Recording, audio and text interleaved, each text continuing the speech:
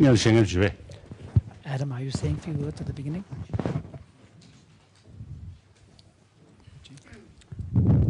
오늘 들으는 별도 없어 내직 시작. 네.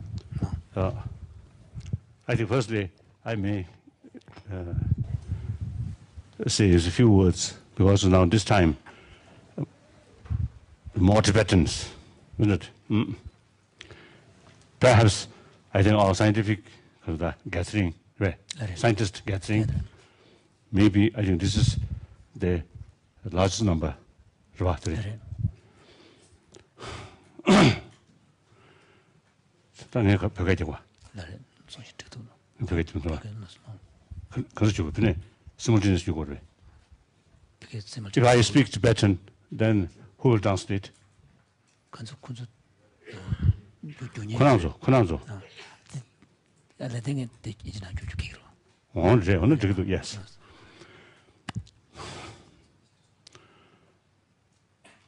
At the beginning, uh, most welcome, all participants, and also those observers. Uh, and special welcome or greetings to our old friends, long-time friends.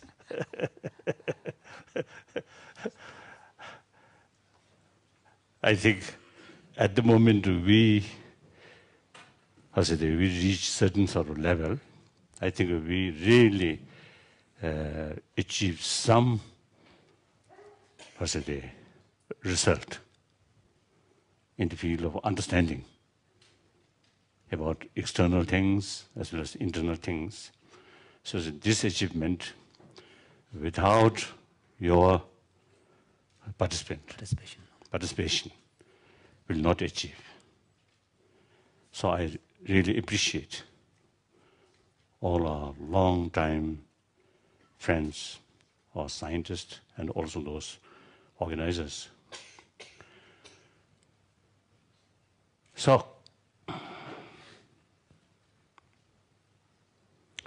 many of you, I think, uh, knew, and particularly those Tibetans. Uh, so I may, uh, uh, I may speak in Tibetan. It's much easier, isn't it? And also to the Tibetan, I think that's better. 자랑하다 안다. 아주 세리부 스님들이야. 루루제제. 아주 구두제야지. 다 하람 로주라니 하람 침벌이. It's been about um, uh, two decades now since we began this kind of conversations with scientists. 처음에 차라 더 배지 나를 깨르기 데 믹스에 토나를 시에체 데 레지 토네 고추브리 Initially, these kind of conversations with scientists really began um, mainly on the basis of my, my own personal interest, and mm. that's how the dialogues began. Tene rinpe rinpe ki, ta nganzu de kudu chi deya di, uh, chik nangbe, uh, chik lobzhung utari ini, pendoa shamu yodo bachi da, goge yodo bachi. Sa du sewar chayin di zane, ta uh, chik nganzu dansa, 다 거기에 해야 되지 그래서 또 세월을 차인데 전에 다어 지금 저 댄서 더 샤다카 지금 루트즈 나래 지금 체리기 대셔디디 다 셴바 중나 야고도 세네 도 세네 다 시, 샤데 난기 에 롬녀를 척주 대체 엔 체리 모주 치하기 아동 고지 수니 답이 로커스 심을 로초즈베 다 Do. 로튼스 So, um, as, as one of the results of these ongoing conversations, which began initially um, out of my own personal interest, was that it became increasingly clear that um, this kind of scientific exposure to the scientific worldview would be very important and also beneficial for my Buddhist colleagues, and particularly in the academic centers of Buddhist learning. And because of this, uh, we began the process of uh, trying to introduce uh, formal scientific studies in the monastic uh, colleges, uh, initially targeting selected group of students. And it has now been about seven years since that, um, that kind of education began.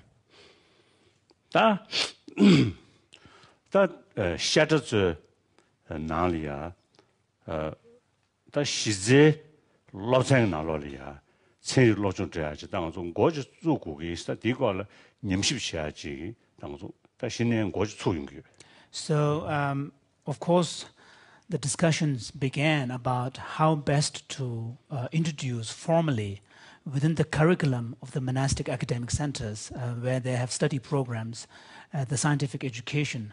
And uh, um, so now we have um, established uh, a kind of a, a um, a systematic kind of uh, protocol to try to explore what would be, what would be an ideal scientific curriculum um, for the monasteries.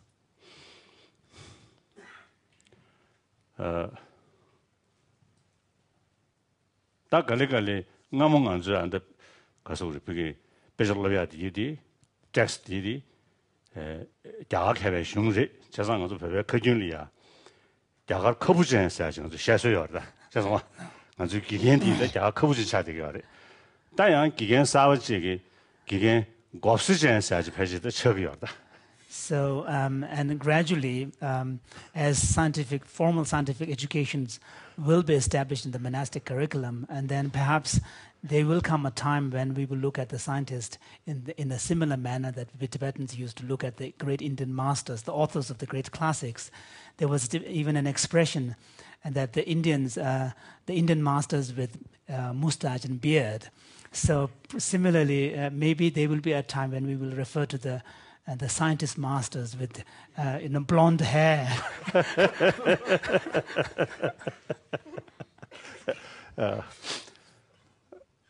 자자가 들이 인상 어 들때 다 벌거는 거죠. 어 롬녀 고소 가셔 가셔 다 용되게 요래. 다 다니 탱데 다 롬녀 그러다 몽구스레 되요래. 에 나가는 식 러주 현지 가셔지 다 청아 패쇼스시.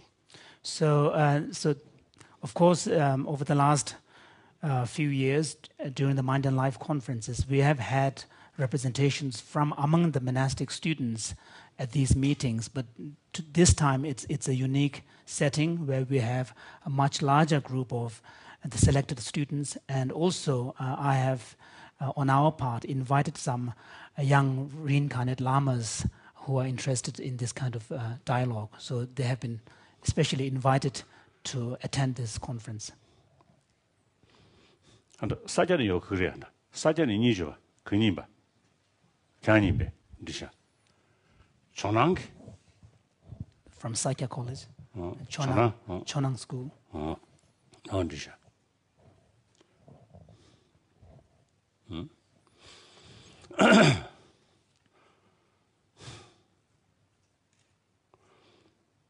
다 jirdan bena da ko chik chunib jiri kanda kato desenib chik pige yarkia royali ya dada mitumbe chao di 다 고야지 계속 버리셔 자장가 어 미튼베 에 대선으로 니도스 여be 있나 당도 인지가 나올 챌린지스 돼 뒤 여be 있나 뒤 얇게 로얄이야 단단 더 숙체여 되지 별로 차잖아. 그래서 산재배 쳐 나로리아. 지금 서주 람가. 아니 다지 탑식이 냠네 몽구지 요대야디 디 독초기. 개기 방제 전에 다 변하지 어 통방 공방 사로 지다 묘목 숙시 중. 그러니까 아니 군다다 생기세요. 근데 이거 독초디 그다 남자로 먹고 찍다. 그 림버로 먹고 잡아 인도 사네. 이 년별 쳐디 데르트 버지기. 거다 남자 먹고 거네. 거다 림버리 림베신으로 돼야지. 그 용되기도 와. 나린 것도 남긴 냠는 샤는 시비이나. 배는 땡징 그 로지 여기 인도 사네. 미다고도 로지 계속 차인 거 야리. 어 센지 되니기 센지 낭시 숙식 싶으셔 인도 사네. 어 센지 낭시 도덕이 믹스해지기 거다. 야 다 탑시 되고 가지고 처비요 하래. 그래서 그 간다 뒤디 동대 처지 그 여빈 그 미tum비 처니 여빈 있잖아요. 디 수조디 딱그 야제로야다 가서 그렇고 그 내가로 신대야지. um, it seems to be, if, if you observe things, it seems to be a, uh, kind of a nat- part of the natural pattern. That, for example, um, when there are two challenging forces, then and this kind of challenges really seem to mutually contribute to each other's growth and, and development, uh, whether it is in the realm of ideas or in the natural world and particularly in the context of um, the Buddhist tradition, um, if you look at the, the taxonomy of various practices, the, the, the antidotes, the counter um, um, factors that are presented in the text, they seem to be so varied. And the reason why they are so varied is what they are trying to address, the problem and the challenges posed by these realities of the mental problems are so varied.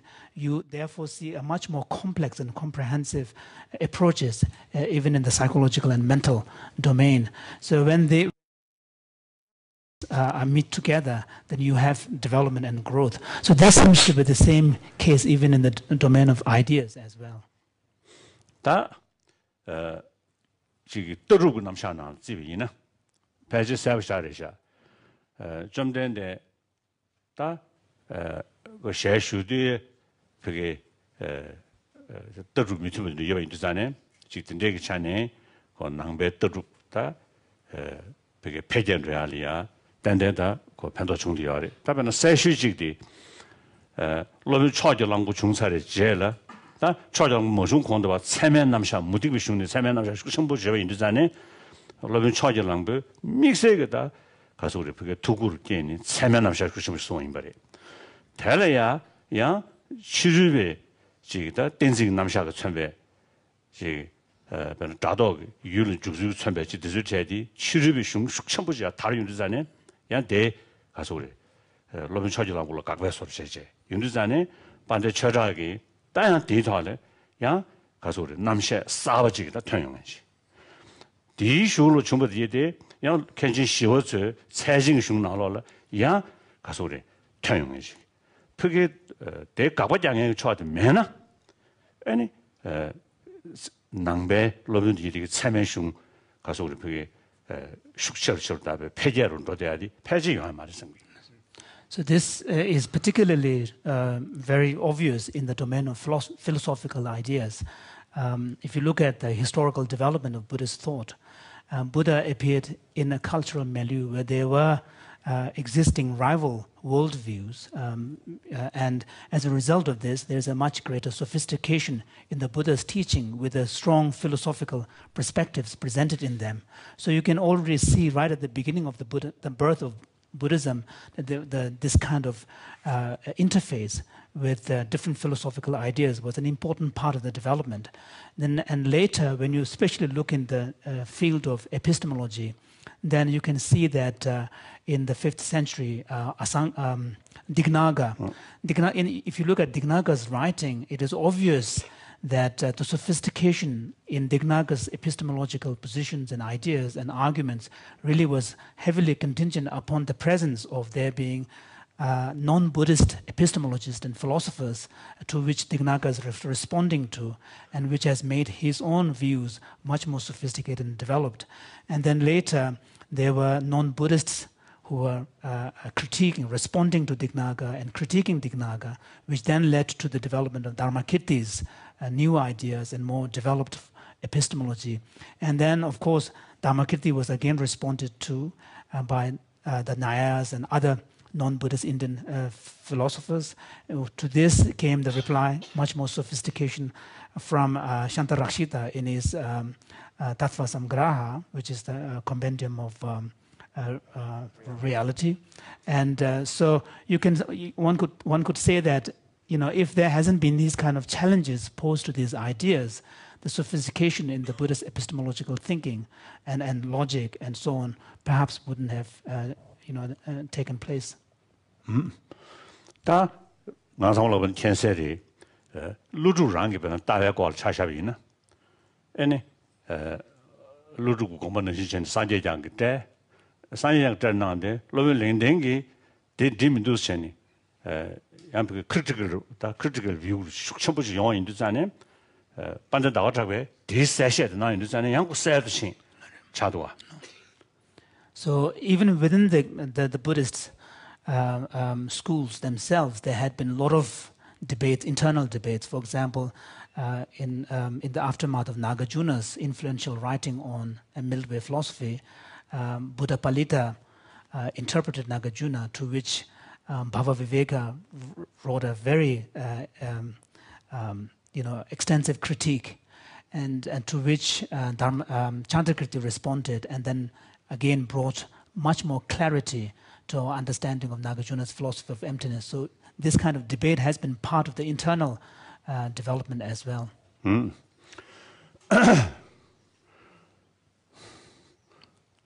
Then, uh, 아 텐주 빠는 나와자고 지 텐주에 야지 그게 캘린 투모인들이 멍구주 텐데야디 패지 샘샘베 에 가서 우리 그게 직송으로 시부지 숙성부지 예배 인도자네 달라 때네 패지 만든다에 에 아니 지 간에 계스네 민도 드저 용데 패지를 생기 Uh, similarly, if you look at uh, Chantakirti's um, exposition of the middle way philosophy, there seems to be much more substantive uh, philosophical uh, claims uh, and a lot of lot more clarity in his writing. And uh, one could say that this is a, is a result of the presence of there being a very uh, develop, highly developed, sophisticated, mind-only idealist school of, of Asanga.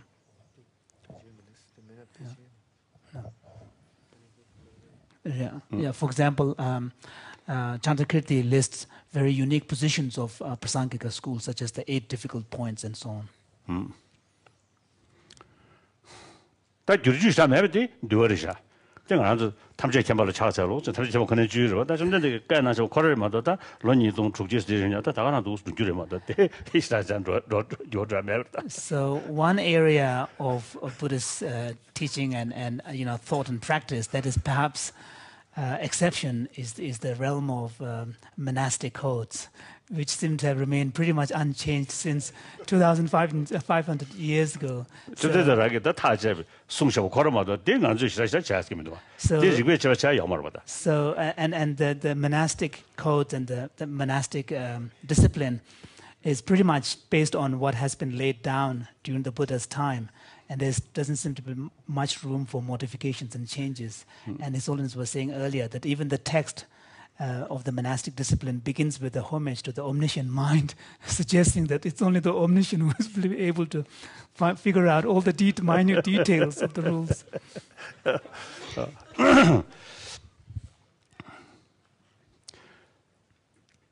다 들어 답간 들어 20에 나 지 들어 20에 디나라 어 다시 지기다 추루 그다 개인 용기하라 양걸 하고를 젠도 다 에시에 나로리아 낭셔라 강내식 차여래 So, um, historically speaking, the 20th century has been uh, a difficult time for the for Buddhism, in general, uh, particularly in, in Asia in the 20th century. No, no, I mean, in 20th century, the challenge about spiritualism, general, general and okay. particularly yeah. Buddhism, Buddhism, in Asia. In Asia, yeah. Uh, uh,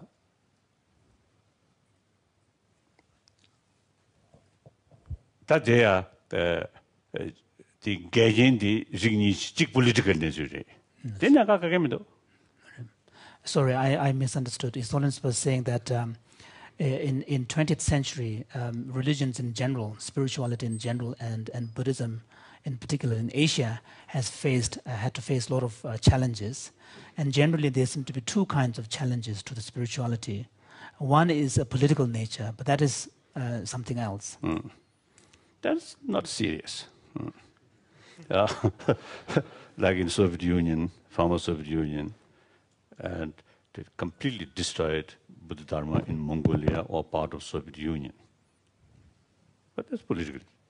So as soon as the political situation changed, you see the faith revive very easily, very quickly. Now, like in, in people from China also similar. but that doesn't matter. Uh, now the important is uh, scientific, some scientific concept. The challenge tone, that challenge is the challenge tone. How to 대비는 지금 다 개는 challenge 용 투야 소리지. So the second source of, you know, second potential source of challenge for um, spirituality and, and Buddhism in particular in Asia is from the scientific side. Mm. And, uh, that the uh, Buddhism ngane shabe yina that uh, the kudu chese chi rabe sorchi kudu chese logi dengeng rogwa rabe sorchi So, uh, from the Buddhist point of view, the mm, fact particularly that, Sanskrit tradition, no. so, Nalanda tradition. So, from the Buddhist point of view, and particularly the Nalanda tradition, which is Sanskrit-based, um, the Buddhist intellectual tradition, from from the point of view of this tradition, in fact, one could see this reality as as a, a challenge for an op- an opportunity for further exploration and and and discussion. Uh. 자 토마 가서 수배 그도네 감미시원은 시리 어 배나랜데 취지근 로단디 당신 제니 아니 라처베 중나 디켈린치야 당신 제니 라마처베 용구도나 더둥디 간다 용구도나 아니 제가 있네 디 같이 좀 말했으면 짜고 하지 또 싸연 로단 데려다 so 인도 scientific 톤은 로데야 되다 디니 경험에서 통되고 So, um, and, and this opportunity can be, challenges can be seen as an opportunity for gaining new insights, fresh insights. And um, um, we have, you know, brought up this point right from the beginning of our Mind and Life dialogues that uh, from the point of view of this particular brand of um, lineage of Buddhist tradition, the Nalanda tradition, uh, since the, the, the fundamental standpoint, the epistemological standpoint of this tradition is to really uh, um, uh, appreciate the need for reason-based understanding and, and evidence and reason-based understanding so that if there are certain facts which as a result of experiment and, and, and um, based upon evidence, if we see clear evidence of their presence, then these are something that the Buddhist will have to accept as part of their reality and if there are certain facts which even may have been part of the Buddhist heritage for a long time and mentioned in the sutras and so on, if uh, as a result of constant investigation and experiment no evidence is found, and furthermore, if contrary evidence are found uh, from the scientific uh, side, then even if these are uh, has been part of the Buddhist kind of tradition uh, and and explicitly mentioned in the text, we will have to uh, uh, interpret, reinterpret them. 벤다가 다 chance 베지 chance 벤 텐지브리 에 나전데데 전다 결론지기 에야 리저블링스링 된다 캘라 말지 되게 걸어. 죄송. So uh, most of you monks already are familiar that I, as a Buddhist who is a follower, Buddhist monk, a follower of Buddha Shakyamuni, of course, when it comes to the cosmology based on Mount Meru, uh, I have qualms and I don't accept it. Mm. Uh, that external matter is concerned, I think modern scientists, modern science, I think more reliable sort of authority. I feel like that. Now, as far as internal matter, emotion or mind, now that field, Perhaps the Buddhist, like one of ancient Indian thought, I think long experience and long history. So maybe uh, some potential where, uh, to contribute or to contribute understanding about emotion or mind and also how to deal the sophisticated emotions. 오늘은요. 봐 벽에 봐 벽에 벽에 벽에 중요해요래. 알레 그 벽에 주고도 와. 그때 아무도 감도. 거기서 가면 돼. 벽에 주로는 이제 쉬고래. 언제 랑 주다. 음. 너리 벽에 나발로. 어, 벽에 나발로. 음. 벽에 괜히 막 그러서 그러다. 에 치수 진정을부터라 아 차샤베나 네 체리기 셰버디 베제 첸덴지 고야지다 어 차게 요서레스 이내 나 셰베 남샤 다 하고도 다 초년 용초 그랬다 아니 셰베 셰베 베다 가서 용도 잡고 근데게 남샤도 저 돌이야 남뱅어네 셰베도 저 오다 케 케바다 지 너럽 기타 자가게 어 가서 그랬다 어 신소 어 자가 제자도 지르나랍 그 자가게 신지다 지라도 안에 남베 shungi tohne ane deshe jaya zudu da shebe namshar ngore kebar re ane lakwa to tsowa da nyongwe ne zuyu diki tang ane tenzu la ya donglen chi tang tang ane tenzu ya tablam ka tohne jo tang zudu tola nangbe ngoy ne sheba ting sabu yoba diki di luju mangbo yobe ane sheba nyanyang song zan dide ka tohne seri ka tola pa ya loje pa pyo to ya ki kwakab yun shi res sa ta diyo shizen na tang rupa ta dili chiri 다 들으시리 단 내단 내 지금 거네 딱 안도 아주 더 새로운 님들이야. 다 로망 그신을 투두체 냠뇽 베르체 아 다디 아주 다 미결바 리순지기 때 믹스에 토나 예배 토네 에 그게다 가서 우리 구두체하다 졸린체다 멤버 다 다자 at least Tibetan Buddhist monastic institution. Re monastic snem do tak learning center di de ta mong ba le ya dinal da gen ki so his holiness was explaining that this is the broad framework within which the conversations between science and buddhism in the in the manner of mind and life dialogues have taken place with these kind of basic understandings and aspirations. And uh, so now uh, after these ex experiences we have to understand that this kind of dialogue should no longer be seen as taking place as a result of some individuals who have this kind of passion and coming together once in a while to discuss this, but rather now, the, at least on the part of the Tibetan Buddhist tradition, the tradition as a whole, mm. um, especially those that are represented by the monastic academic learning centers, uh, should really uh, take the responsibility to ensure that this part of knowledge becomes part of their uh, cultural and intellectual heritage. 루주 자도 부수강 더 루주 자도 가셔 제가 가다 레트 야래 어 자도 믹스 거수여 어 땅에 에 라자야다 지금 미규로 가 땅에서 배수 시대야 돼 에, 낭추게 떠주 그 셰세디 어 저준 장장기 지금 모노플레이스로 제제 저준 장장 쓰면 돼야지 자원인데 제야 말이야 다 저준 장장 쓰면 아주 뇌에 되는 게 뇌에 되는 게 어떤 저준 장장 쓰면 뭐 장서 뱉다 드롭 시크릿이다 레마도 셴 더디 되는 다 응원배 되는 사 디디기 로종 샤디 자스리 야면 붙인 로종 샤가디 할레베 개침 버리샤 당아주 미나나네 기시 통고도 다 민기시 되고 이러면 미신디 간다 미겨 포면 알아네 다 기시 셰제 롱 용야디 베게 개침 버리샤 So at this meeting, um, uh,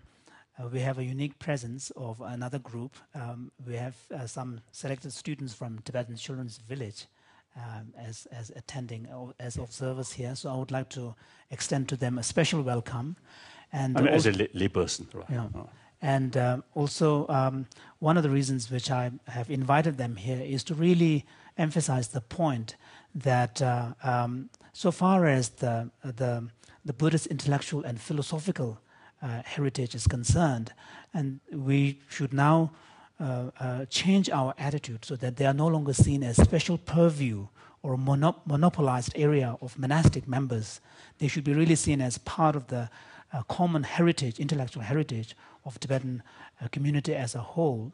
And of course, if you look at the, the, the, the spiritual kind of collection of the, of the Buddha's teaching, you have the collection of monastic discipline, you have the collection of the, the discourses that deal with uh, practices, and then you have the collection of Abhidharma, that's kind of psychology and phenomenology.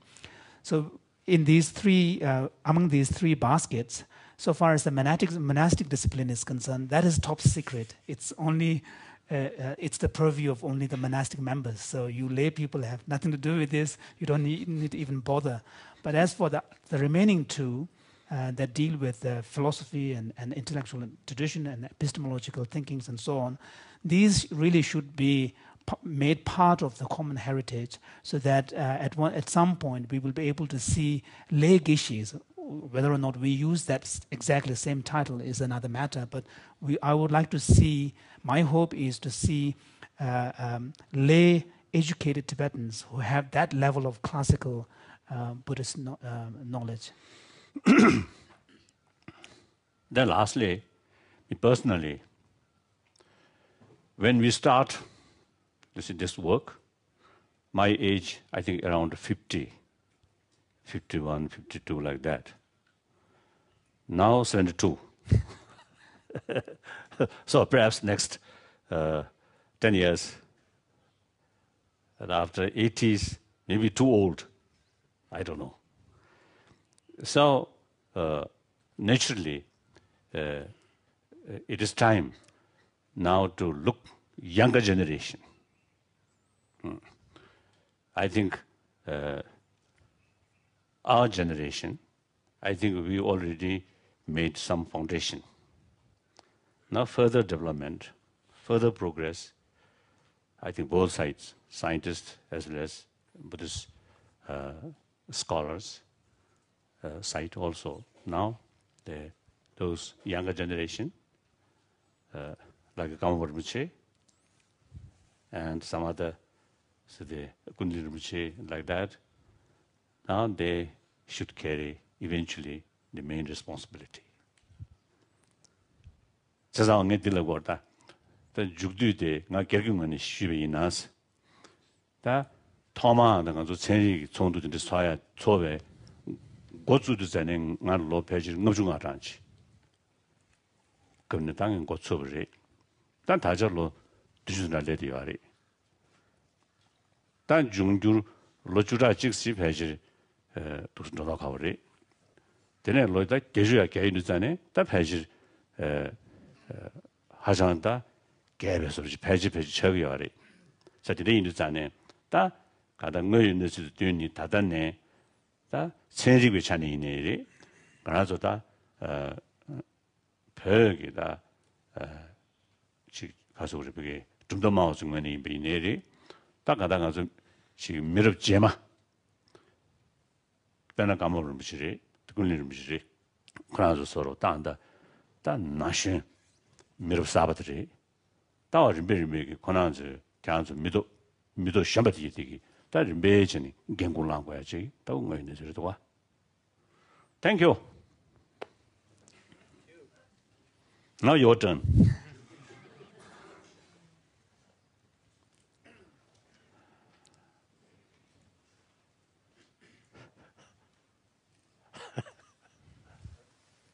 Thank you very much, Your Holiness, and uh, thank you so much for hosting us uh, all these years And for being such a wonderful partner uh, in this endeavor.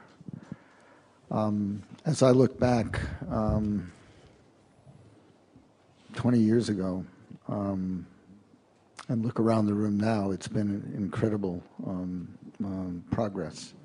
Not only what we see in this room, but uh, more importantly, I think, uh, what has been created outside of this room uh, in uh, regard to the research that, uh, the collaborative research that is being pioneered uh, in uh, laboratories of these scientists and other scientists. And in the same way that you have invited next generation people here, we have a few next generation scientists here that have been um, working with us for uh, a number of years. I think you remember Antoine Lutz uh, from uh, Francisco's laboratory. Yes, And we've also got uh, Brent Field here from Princeton University, um, Right. Oh, uh, who has been working steadily. And we, um, what? Tania. Oh, and- and Tania, uh, who, Wolf Singer's uh, daughter, um, who is working in Zurich. Grand, Grand Pommery. So, Wolf, I don't know it is. Yeah. It's uh, the daughter of Wolf Singer. So, so, here. Wolf Singer Pomeroy. Oh, what? No, German. In German. Oh. yes. And uh, and your Holiness, knows that in 19 uh, or in 2004 we started the Mind and Life Summer Research Institute, where we have 150 uh, young scientists and uh, and also older scientists coming together once a year for a week to explore collaboratively. And it's not just scientists, but with uh, contemplatives and uh, really trying to build these new fields now of uh, contemplative neuroscience, contemplative clinical science, and contemplative studies.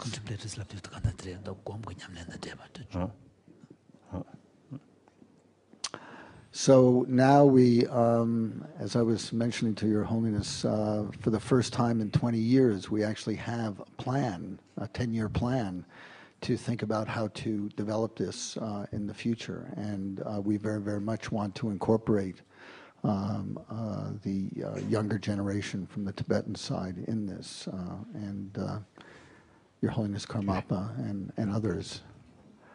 Um, and uh, this, uh, as I was sitting here, I was thinking about how, how we can do that more effectively, and that would be one of the things that we take on. Um, and uh, so as we enter into our third decade of this, um, uh, I look to um, incredible um, uh, um, fruitfulness from uh, the foundation that we have developed.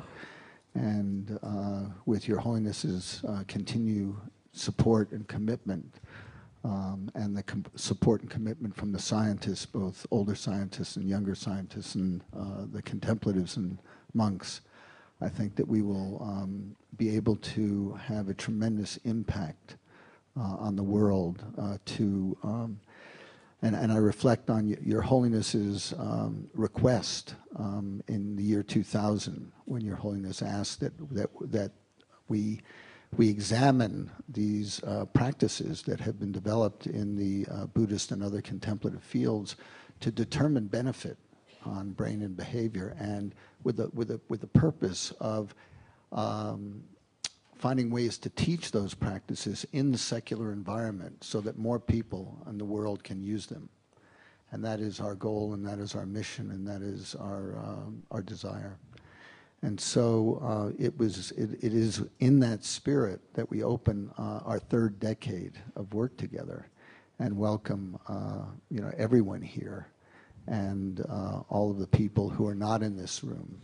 And um, you know, I thank Your Holiness, and I thank the private office, and uh, all of the scientists and the participants here, and all of our sponsors. We have many, many more sponsors than we've ever had before, and without their help, a lot of them here around the room, uh, none of this would be possible as well. And of course, our long-term uh, financial partner, uh, Barry Hershey and son, the Hershey Family Foundation. So thank everyone, thank, thank you all for being here. And I turn it over now to Richie and to Arthur uh, for the uh, 14th now Mind and Life Dialogue. Thank you. Uh, Your Holiness, I would like to begin by first expressing um, my personal gratitude and the gratitude on behalf of all of the participants. Your commitment to these dialogues over the years and your encouragement, particularly of the research as we go forward, uh, has made a substantial difference to my life uh, and to many other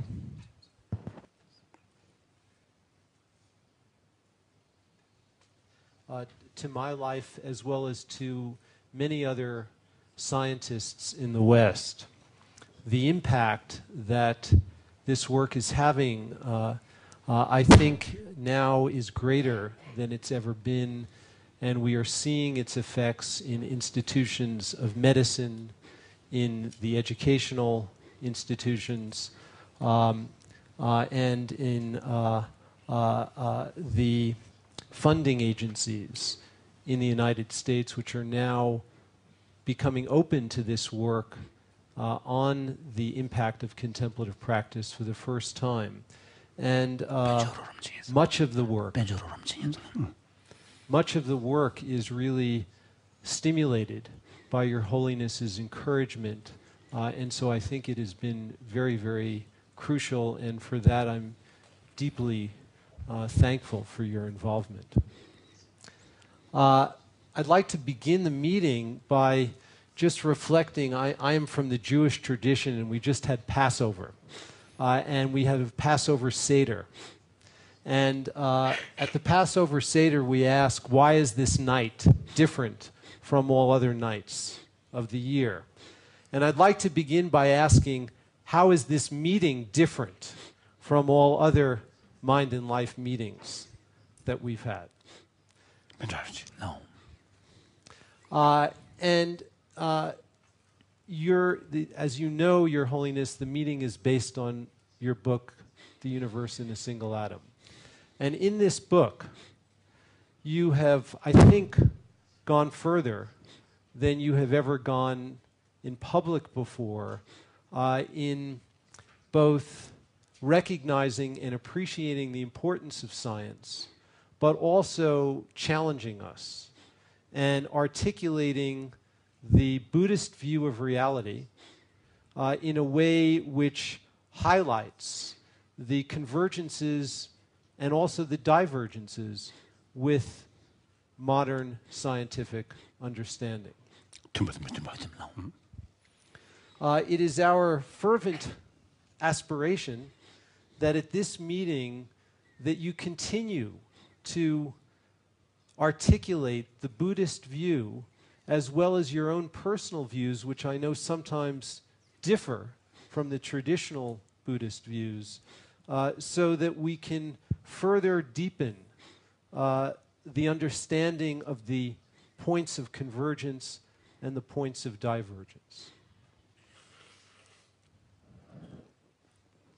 We believe that this dialogue has the potential of being the most significant dialogue that we've had because uh, we feel that since you have articulated the Buddhist view in your book, that we can discuss this in the open uh, really for the first time with the scientists in this way. This, this is something that hasn't happened before uh, in a mind and life dialogue. Uh, and so it is our hope that we can continue to deepen this process over the next several days. The structure of this meeting will be a little different from the structure of other mind and life meetings. There will be more presentations, but much shorter. Uh, and they will be focused on issues that were presented in the book. Uh, mm-hmm. So we're using the universe as a single atom as a springboard, as a. Um, springboard, sorry. Uh, uh,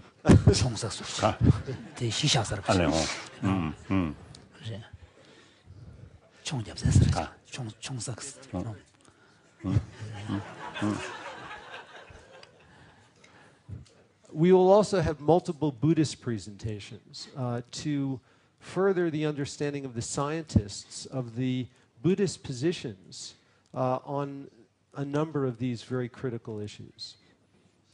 We have several goals for the meeting. The first goal is to develop a clearer understanding of the points of convergence and divergence. The, the second goal is to identify areas where further research would be very valuable, and Your Holiness's counsel and uh, um, views of this, I think, will be very influential in how we move forward with, with the research. And the third is that we, we have uh, as a goal the hope that the deepening collective understanding of the nature of reality that it will be uh, brought together from both the scientific and the Buddhist perspectives will ultimately help to relieve suffering as we understand reality more clearly. Uh, and that this understanding will penetrate the scientific traditions, the medical communities, and the educational communities in the West. So those are uh, um, uh, our uh, our goals for the meeting, and now Arthur will uh, amplify on them, and then we will summarize some of the key challenges that will be uh, themes for the entire five days uh, after um, Arthur discusses these issues initially. I'd like to also express my gratitude. Is it working, do you think? Yeah. It is. All right. Express my gratitude and the privilege for once again working with you on these important issues. You spoke about the importance of being challenged. That Buddhism only improved through the challenge which other systems of thought offered to standard Buddhist understanding. We hope, on the one hand, to challenge you further so that you can improve your understanding of Buddhism as well. But we look forward to you challenging us. Scientists come here also open minded. You spoke about the openness of Buddhist philosophy to change. And I think I can speak for every one of us if there are good reasons that you can offer for changing our minds based on your own experience, then we are also ready and willing to learn from the Buddhist community as well. We come again not only as individuals, but we come as community. You mentioned that also in your introduction.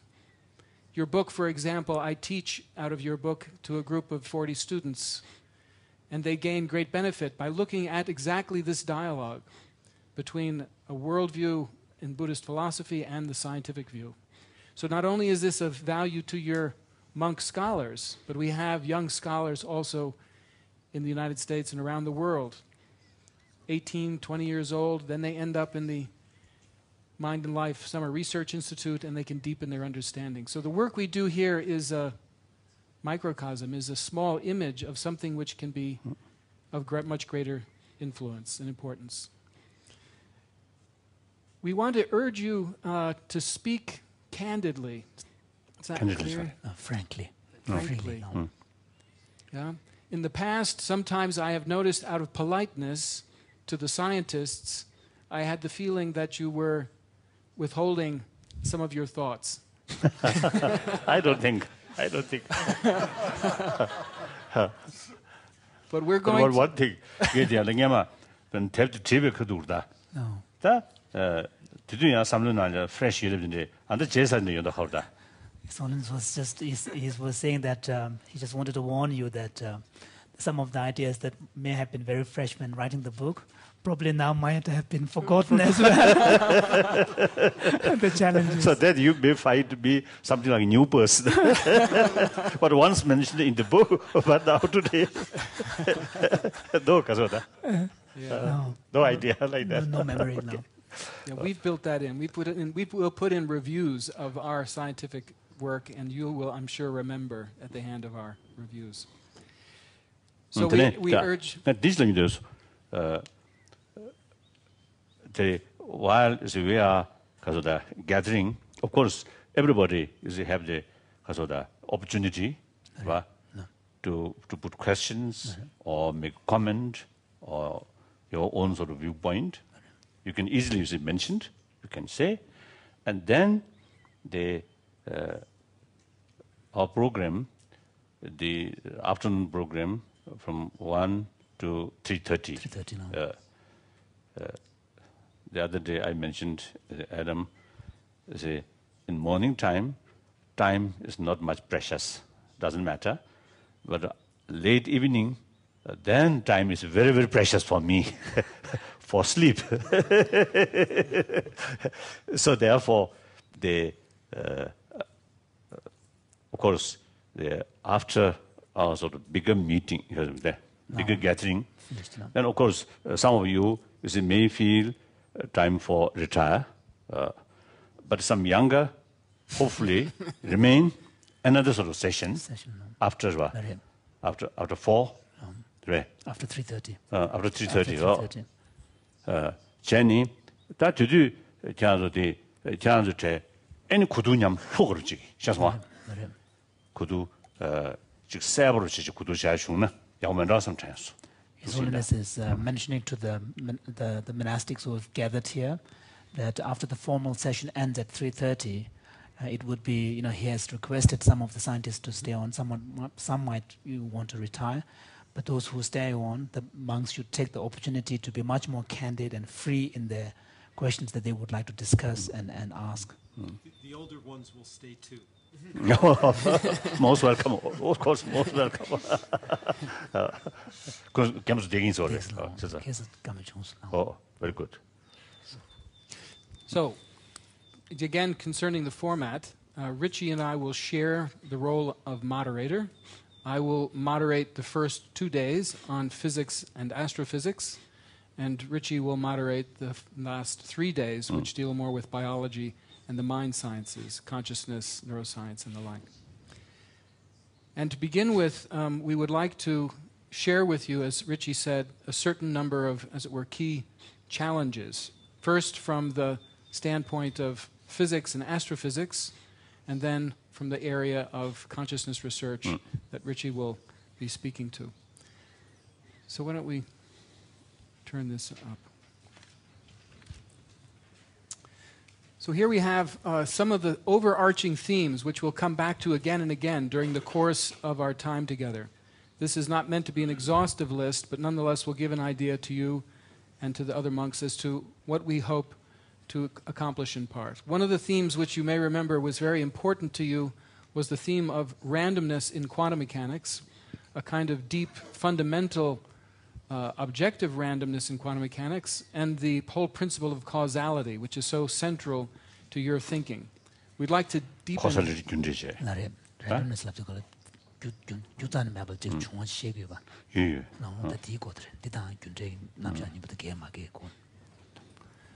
So Anton Zeilinger, who brought that forward uh, originally and spoke with you both here and in, uh, you remember in Innsbruck, Innsbruck. Mm -hmm. yeah, he will also he and I together will develop that theme further and see if we can't challenge uh, you again with regards to quantum mechanics, and you can challenge us on I- on our ideas.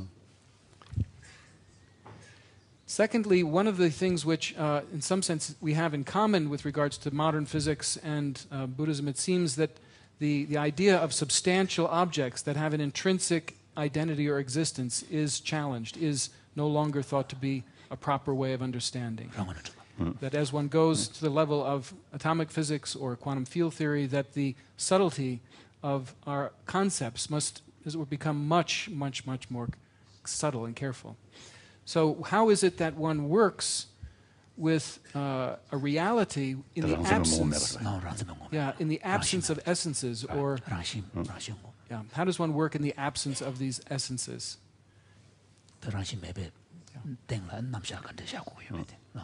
One strategy which seems to be uh, in the air, which seems to be uh, uh, undertaken now, is what is sometimes called a relational ontology. As opposed to single objects, unique and cut off from the world, we now understand objects as constituted out of their connections, their relationships.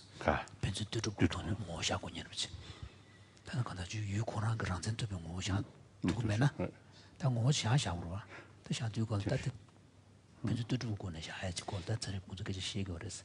뒤로야 낭배도는. So, in this view, we have, on the one hand, a kind of emptiness with regards to an ultimate existence, but then an interconnectedness from which phenomena arise. And so, the role of experience, the role of phenomena, becomes very important. Next. Now, here's a new topic which we'd like to introduce because science has continued, and quantum mechanics in particular has continued. And since Anton and I have worked with you some years ago, a whole new field has emerged, uh, which is called quantum information, or quantum mechanics, uh, and uh, you could say with cl- the difference between classical information, classical meaning, and a new domain of quantum meaning or quantum information. 이것을 나 다는 인포메이션 세대 콘셉트 요 잡으시도.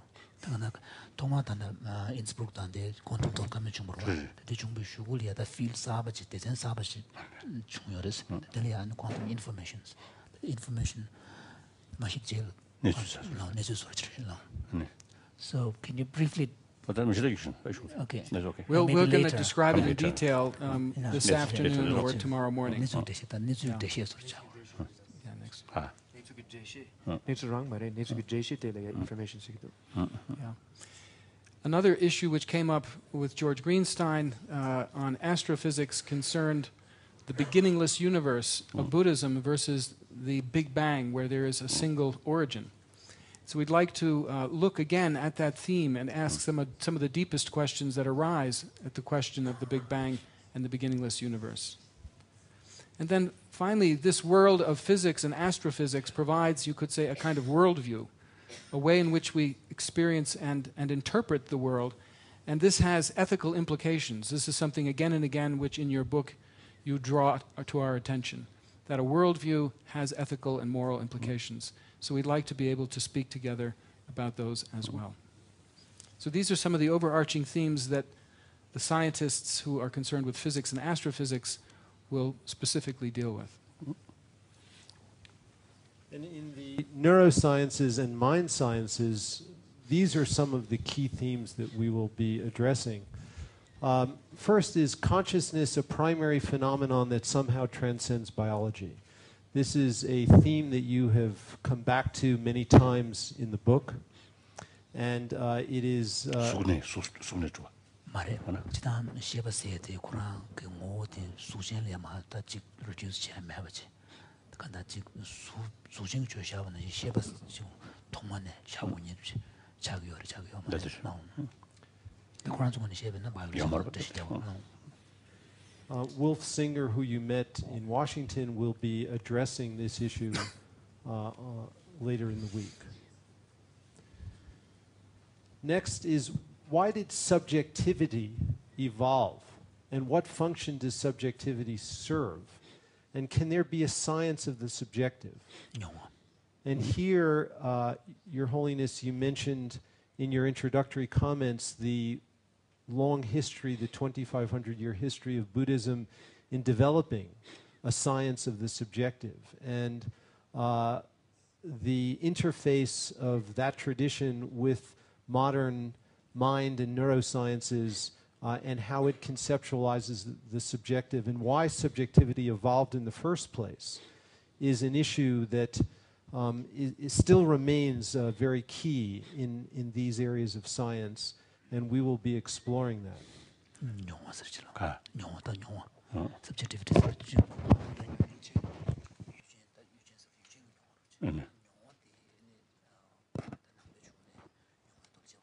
영화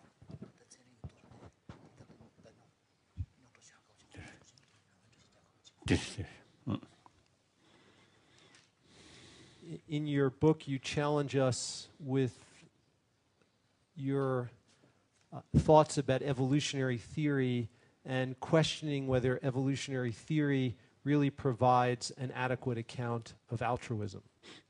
And uh, this is. Evolution.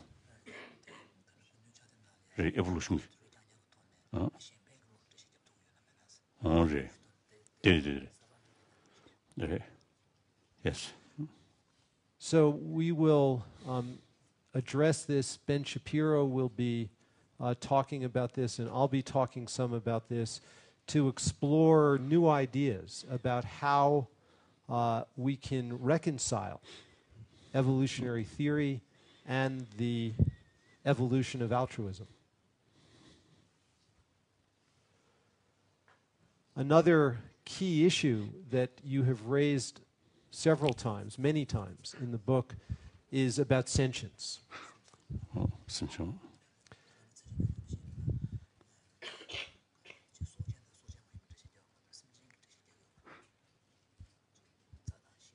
riri, so yumi mato, diri.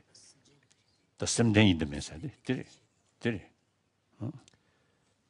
This is a key issue in the life sciences and the neurosciences, and it also has profound ethical implications. Uh, hmm? So this is uh, something we'll be exploring. And Martha Farah, who is new to the dialogue, is a neuroscientist uh, at the University of Pennsylvania who specializes in a new field called neuroethics. And so we will be exploring the mm-hmm. ethical implications of this. Another important question which was raised in the book is are there limitations on mental development that are in any way comparable to the limits in the development of other skills? Mm-hmm. Or is mental development unlimited? 그래, 담에 오사리.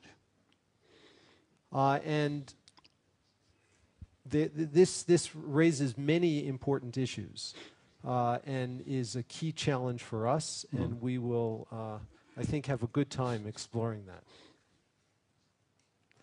And finally, uh, on what basis might we hope for an integration of science and spirituality, and in what ways should they remain independent?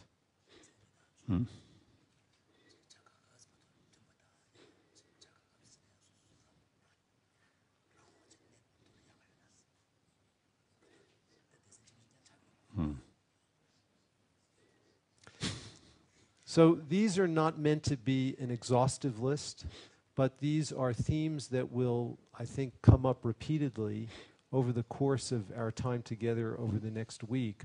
Uh, and they're all themes that uh, you have been um, so precise and, uh, and sharp in, in challenging the scientific view. Uh, and we have thought a lot about this. We have had several meetings together to prepare for this, and it's been already a very rich dialogue. And so we're um, very eager to jump in and to begin exploring.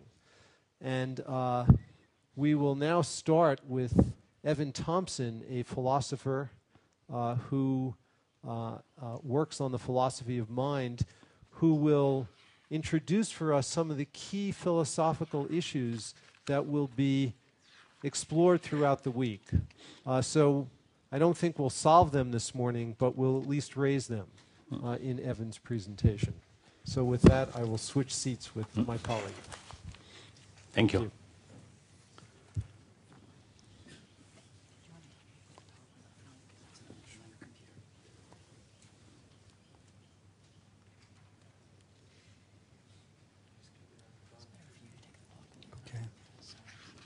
Too, distracting for you. Okay, I'll keep a lookout.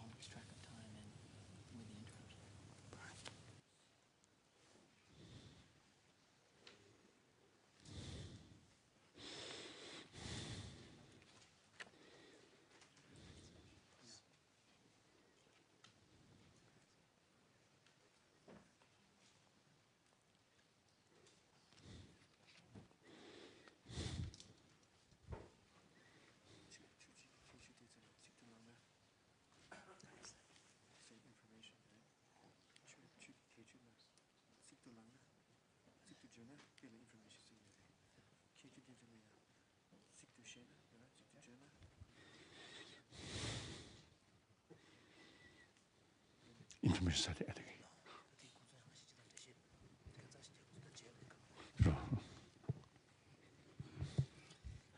I'd like to begin by saying that it's a, a great pleasure and honor to be able to um, present this material to you. And um, I'd like to, to thank you for this opportunity and also to thank Adam and Richie and Arthur. And I would also like to say that as a philosopher, it's a special privilege to be able to present Western philosophical ideas in front of all of the monks and representatives of this great Nalanda tradition of philosophy, which is one of the finest traditions of philosophy in, in world philosophy. So this is a special pleasure for me. I want to begin by giving an outline of how I'm going to structure the things that I want to, to present. I want to, at the beginning, briefly mention a basic convergence in Buddhist and scientific ways of thinking. Then I want to focus on a critical divergence that you mention in your book having to do with the nature of consciousness. Then I want to explore that divergence in some detail, some depth. And towards the end, raise a question about the limits of scientific knowledge, particularly with regard to consciousness. And then I would like to end with some open questions that are really meant to be questions for the entire week. So, with regard to the basic convergence, there's two points I'd like to, to emphasize. One has to do with method, that in both science and Buddhism, we see a commitment to the primacy of observation and to critical investigation. And with regard to the view of reality, in both we see a view in which reality, including the mind, is a causal network of interdependent or, or dependently related events.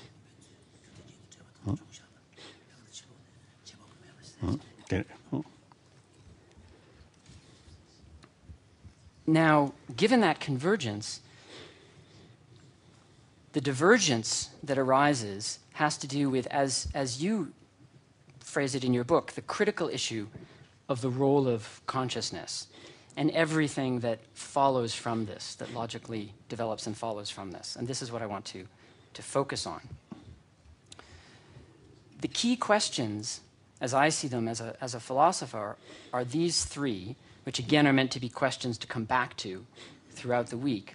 First of all, already mentioned by Richie, is consciousness a primary phenomenon that somehow transcends biology? Somehow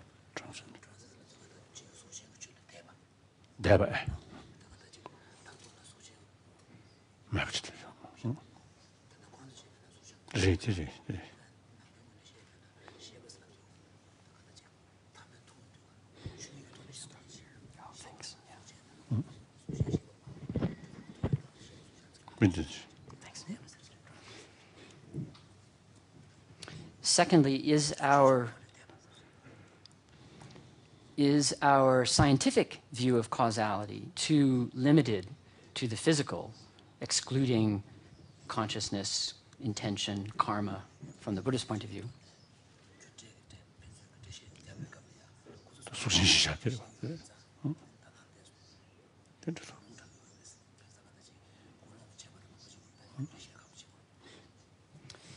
And then, thirdly, can there be downward causation? from the mental to the physical? Also something that you 이것을. 응? 응? 네, 네.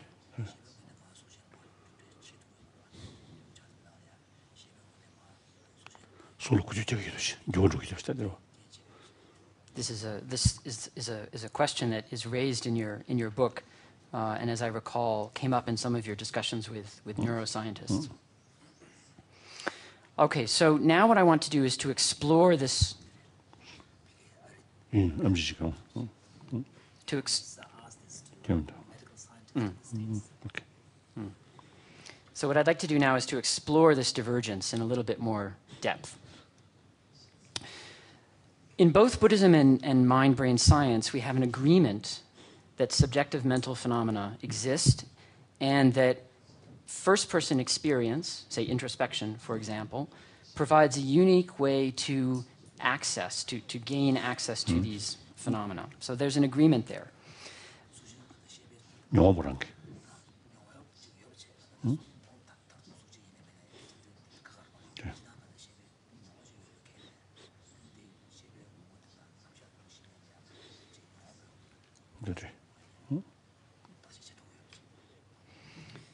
But the difference arises with regard to the conception of the nature or the underlying nature of these mental phenomena. Yes.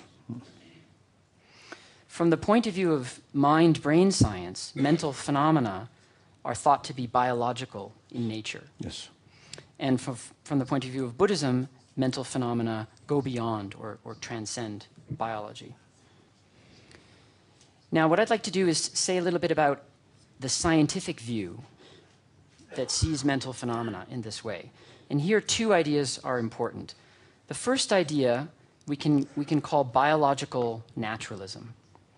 And this idea is that mind and consciousness arise from and are realized in or embodied in the workings of the brain. And then, secondly, a much, much more general idea the causal closure of the physical. What this means is that no physical event has a non physical cause. Or to put it the other way, if a physical event has a cause, then it has a physical cause.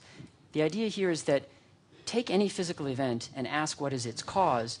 To answer that question, you need never go outside the system of physical events. So there's a kind of closure, a sort of system closure. Hmm. You need never go outside the physical to explain a physical event. This is a, a, a basic principle of scientific thinking.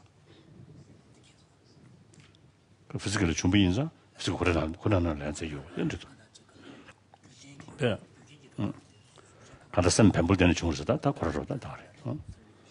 인지 어. 음. 데리 Now, we could ask what is, what is the status of these two theses, these two principles? 对对 Yeah. So, in your book, you, you suggest they are metaphysical assumptions and that they're a matter of, of philosophical choice. From a scientific point of view,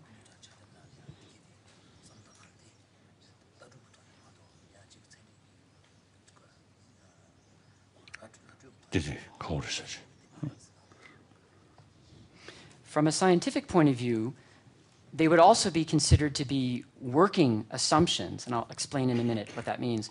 Working assumptions that guide investigation, that guide how we look at things, and for which we have evidence, for which we have inductive or scientific evidence. So let me outline the structure of that thinking here in the case of consciousness.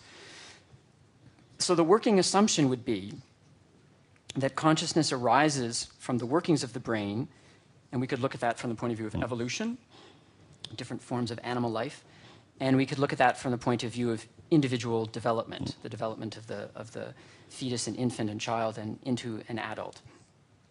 That's the working assumption. Then the, the evidence, this is a very simplified way of presenting the evidence, but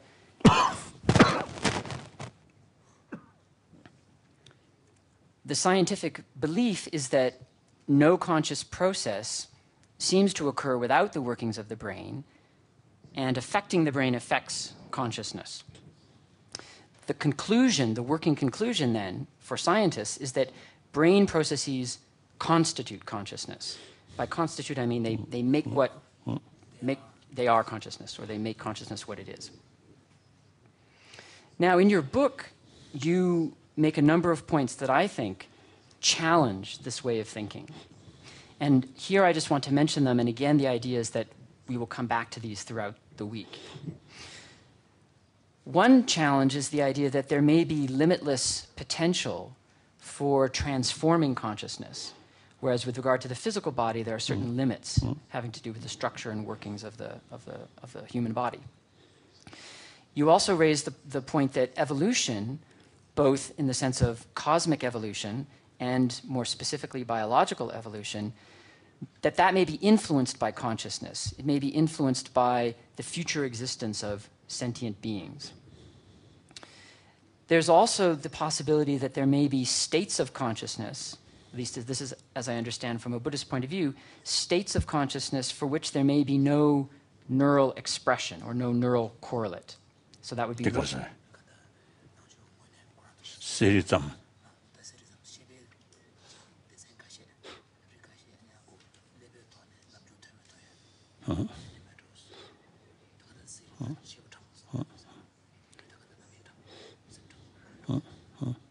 so this would be one way in which consciousness transcends biology. And of course, closely related to that is the, the Buddhist idea of rebirth and the mental continuum that is not a biological continuum.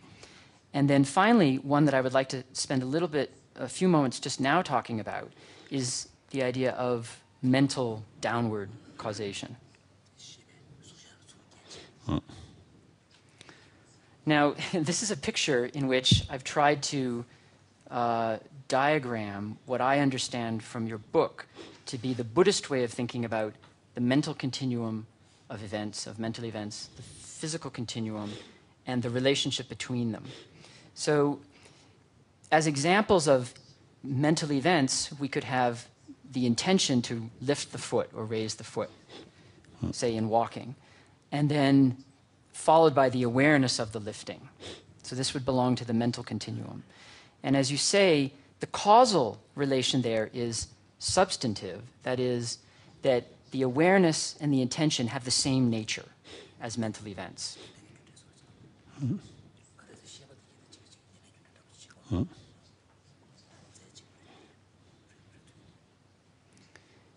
Then with regard to the physical continuum, there would be the brain state that is correlated to the intention and the brain state that is correlated to the action, the, the lifting of the foot.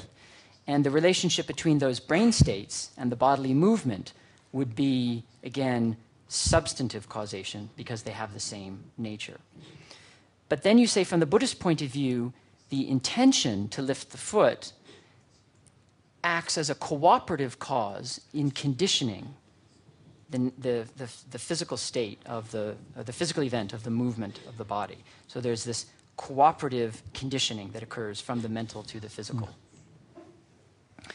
Now, the scientific view, the standard scientific view, would be to say that in principle, the foot rising should be completely explainable as the result of the prior brain state without any reference to the mental Yes. intention. Why would we say that? Because, and this is the principle of the causal closure of the physical, because no physical event, for example, a foot rising, has a non physical cause. So we would appeal to the prior brain state as the physical cause. So then, from a scientific point of view, there's a problem with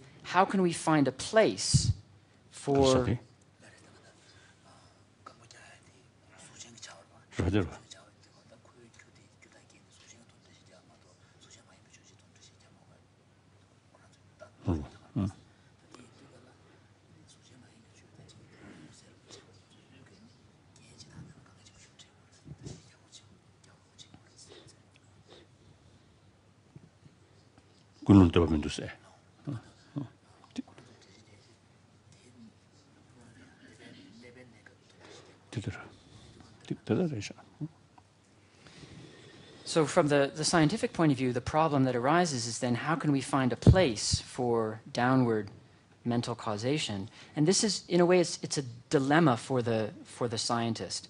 If we say we need to appeal to the mental intention, then we go outside of the closure of the physical. That's dualism. And scientists are uncomfortable with dualism. On the other hand, if we say we don't need to go outside, we just refer to the brain state, then the intention and the mind in general seems not to be causally relevant. It seems to be uh, epiphenomenal, not to have a causal role. So it's a, it's a um, it seems to be something that is present, at least our experiences of it as present, but it plays no causal role. That's epiphenomenal.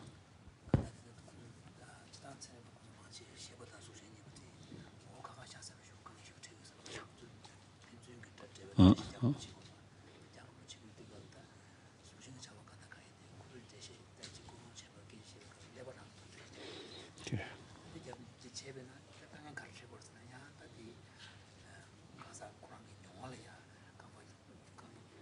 음.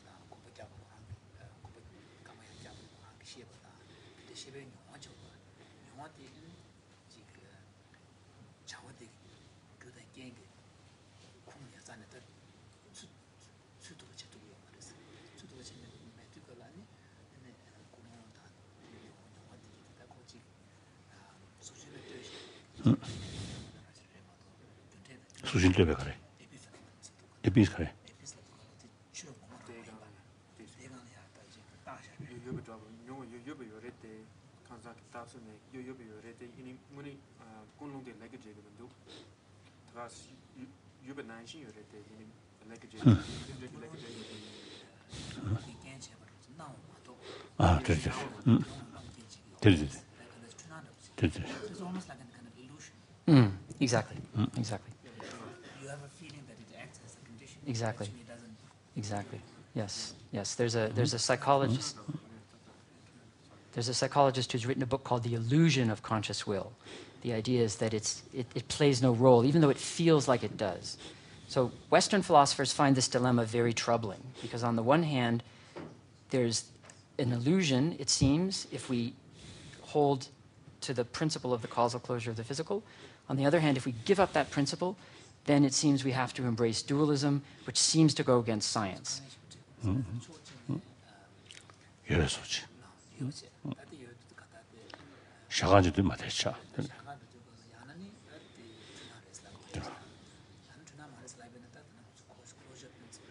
Жидус.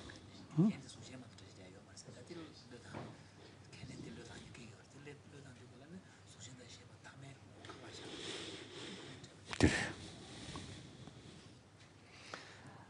Okay, so that um, covers the, the, the, the heart, I think, of, of the divergence about consciousness. And I want to say something now about the question of limits of scientific knowledge with regard to consciousness, and then end with some open questions. From a scientific point of view, even if we assume that consciousness is a brain process, I think scientific and philosophical honesty requires that we admit that we don't understand how consciousness arises from the brain, assuming it does, and how mental causation is possible. So there's a, a, a fundamental problem here. There is a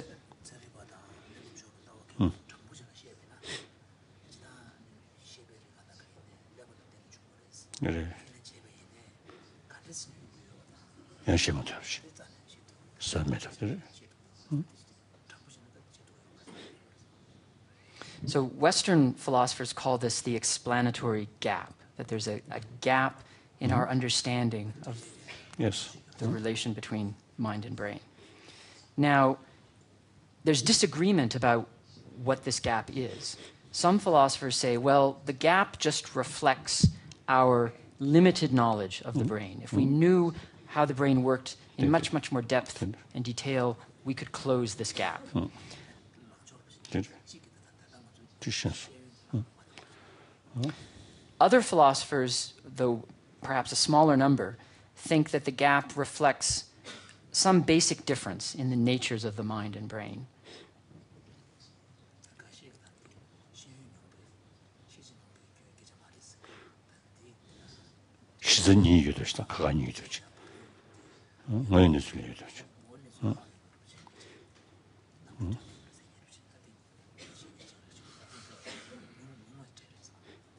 Now, I should say that in both of these views, the assumption is that mind and brain are, are definite things that, in Buddhist terms, have a kind of intrinsic existence or reality.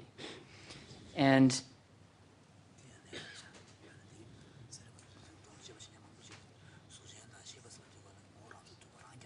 그래. And I'd like to just very briefly mention a third way that comes from Western philosophy, which says that we really need to change our assumptions and the questions we ask in this context. So instead of asking, what is the nature of things, mind and brain, as they are in themselves, we should rather ask, how do things appear in experience? 가서 시험디. 능주다.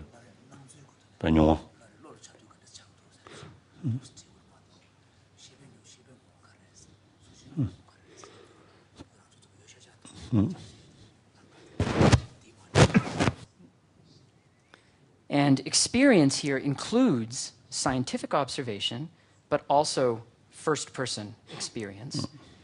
And furthermore, and this is, I think, the really important point for this way of thinking, all scientific observation and measurement presupposes direct experience of how things appear. So, for example, if we have the idea that we will go into the brain and investigate it ever more carefully and find consciousness, and we go further and further, the fact remains that always there is a brain there showing up as something we can observe and measure because of our experience. Experience must always be in place in order for there to be something like a brain that we can find for analysis. So since experience must always be in place in that way, yeah. mm. Mm. Mm. Mm. So this means then that experience is irreducible in the sense that you can't ever step outside experience and reduce it to something else. You can't, as it were, look at experience sideways to see how it relates to something outside experience because any view is always within experience. So, for this way of thinking, we regain the idea that experience is primary, fundamental, and, and irreducible. And this way of thinking in Western philosophy comes from the tradition that's called phenomenology. The main originator and exponent of this way of thinking was, was the philosopher Husserl, who was also a mathematician. And as you, I think, know, this idea and way of thinking was very important for Francisco in his attempt to develop what he called a neurophenomenology that would bring this way of thinking into neuroscience and into how it thinks about consciousness in the brain. So I'd like to end then with three open questions, or really sets of open questions and these are meant to be questions for all of us for the entire week. So the first question is Could Buddhism allow for the possibility that the fundamental nature of mind does not transcend biological nature? Or is this impossible from a, from a Buddhist viewpoint? 음.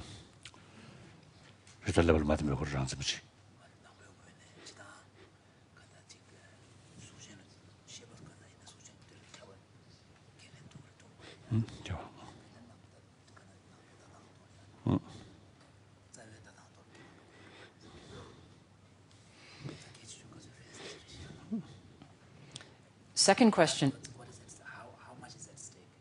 Yes, right, exactly. How much is at stake? Second question is, according to Vajrayana Buddhism, as, as I understand it from, from your book, there is no fundamental division between mind and matter, that both are different aspects of a non dual reality. So, one question is Is this view open?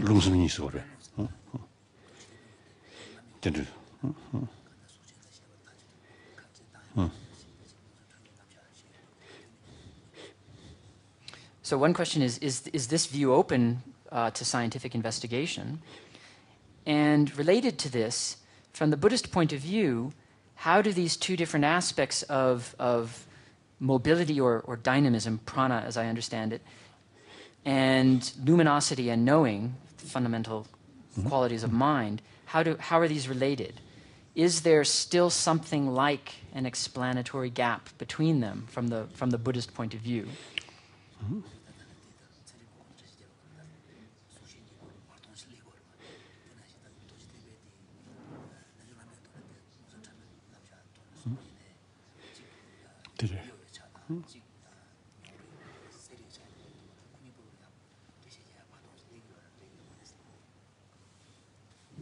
And then finally, how much can we as scientists and Buddhists bracket or, or set aside our own philosophical beliefs and collaborate methodologically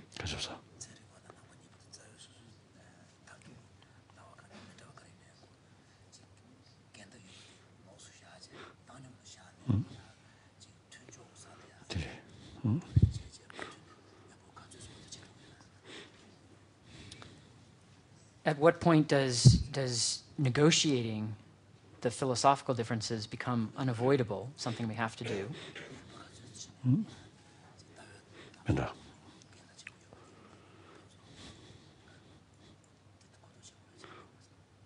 And then finally, is, is this alternative approach from Western phenomenology compatible with, with Buddhist thinking on, on all of these issues? Hmm.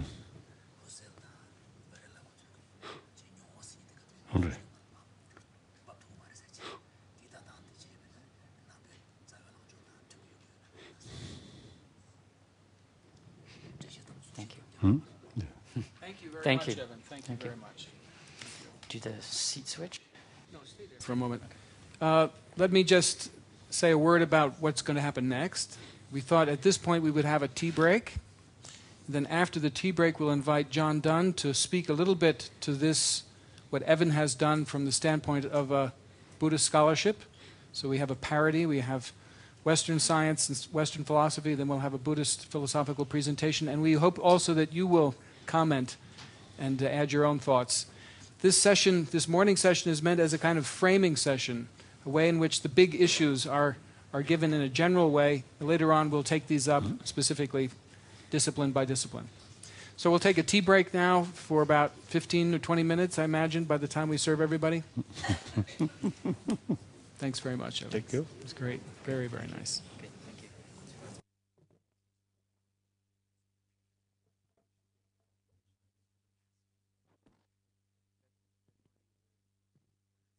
would like to emphasize during the course of our time together over these days. Hmm. We have given some framing, some framing questions, said what we think is important, but of course we want to hear from you what you think is important. First, we'll hear from, from John, and then we'll turn to you.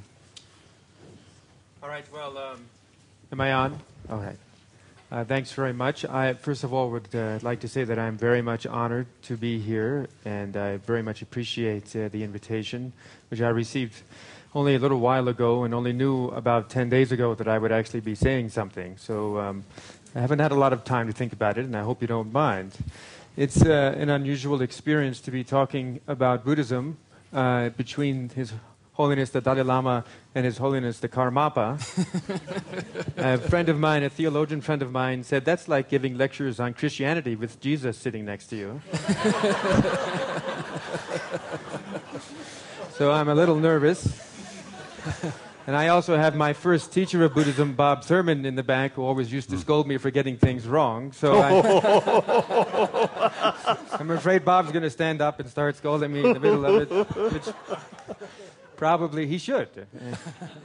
Uh, but I just want to make some comments and, and to clarify really what my role here is is not to teach, uh, obviously, is not uh, to explain Buddhism to His Holiness or to His Holiness the Karmapa or to any of the monks uh, who are undoubtedly uh, much better trained in Buddhism than I am, but rather I am a kind of conceptual translator, helping a little bit with oral translation, but uh, primarily a kind of conceptual translator, which is a role that I fell into when I was working with Richie Davidson in Madison, Wisconsin. So I will uh, be asked to give a presentation tomorrow with Thupten Jinpa on, on, some issues in Buddhist philosophy, but really it's in a way to try to encourage dialogue and not to present a full explanation. Um, I'm, not, uh, I'm not the person to do that. I think we have someone much better suited to that sitting next to me here. Um, a couple of notes, though. First, I, I think that as a framing issue, one framing issue, if we step even further back uh, than the steps that Evan took, is to think about what the nature of this kind of dialogue is. And part, I think, of the nature of this dialogue is, is that it's a, it's a difficult dialogue. There are those, perhaps not so much in this room, but outside the room, who will feel very challenged, both within the scientific community and within the Buddhist community. And His Holiness has already mentioned that in the course of the 20th century, there's a sense in which science almost seems to be posing challenges to spirituality in general. And that some of those challenges, I think, create a certain degree of trepidation and fear in various spiritual traditions.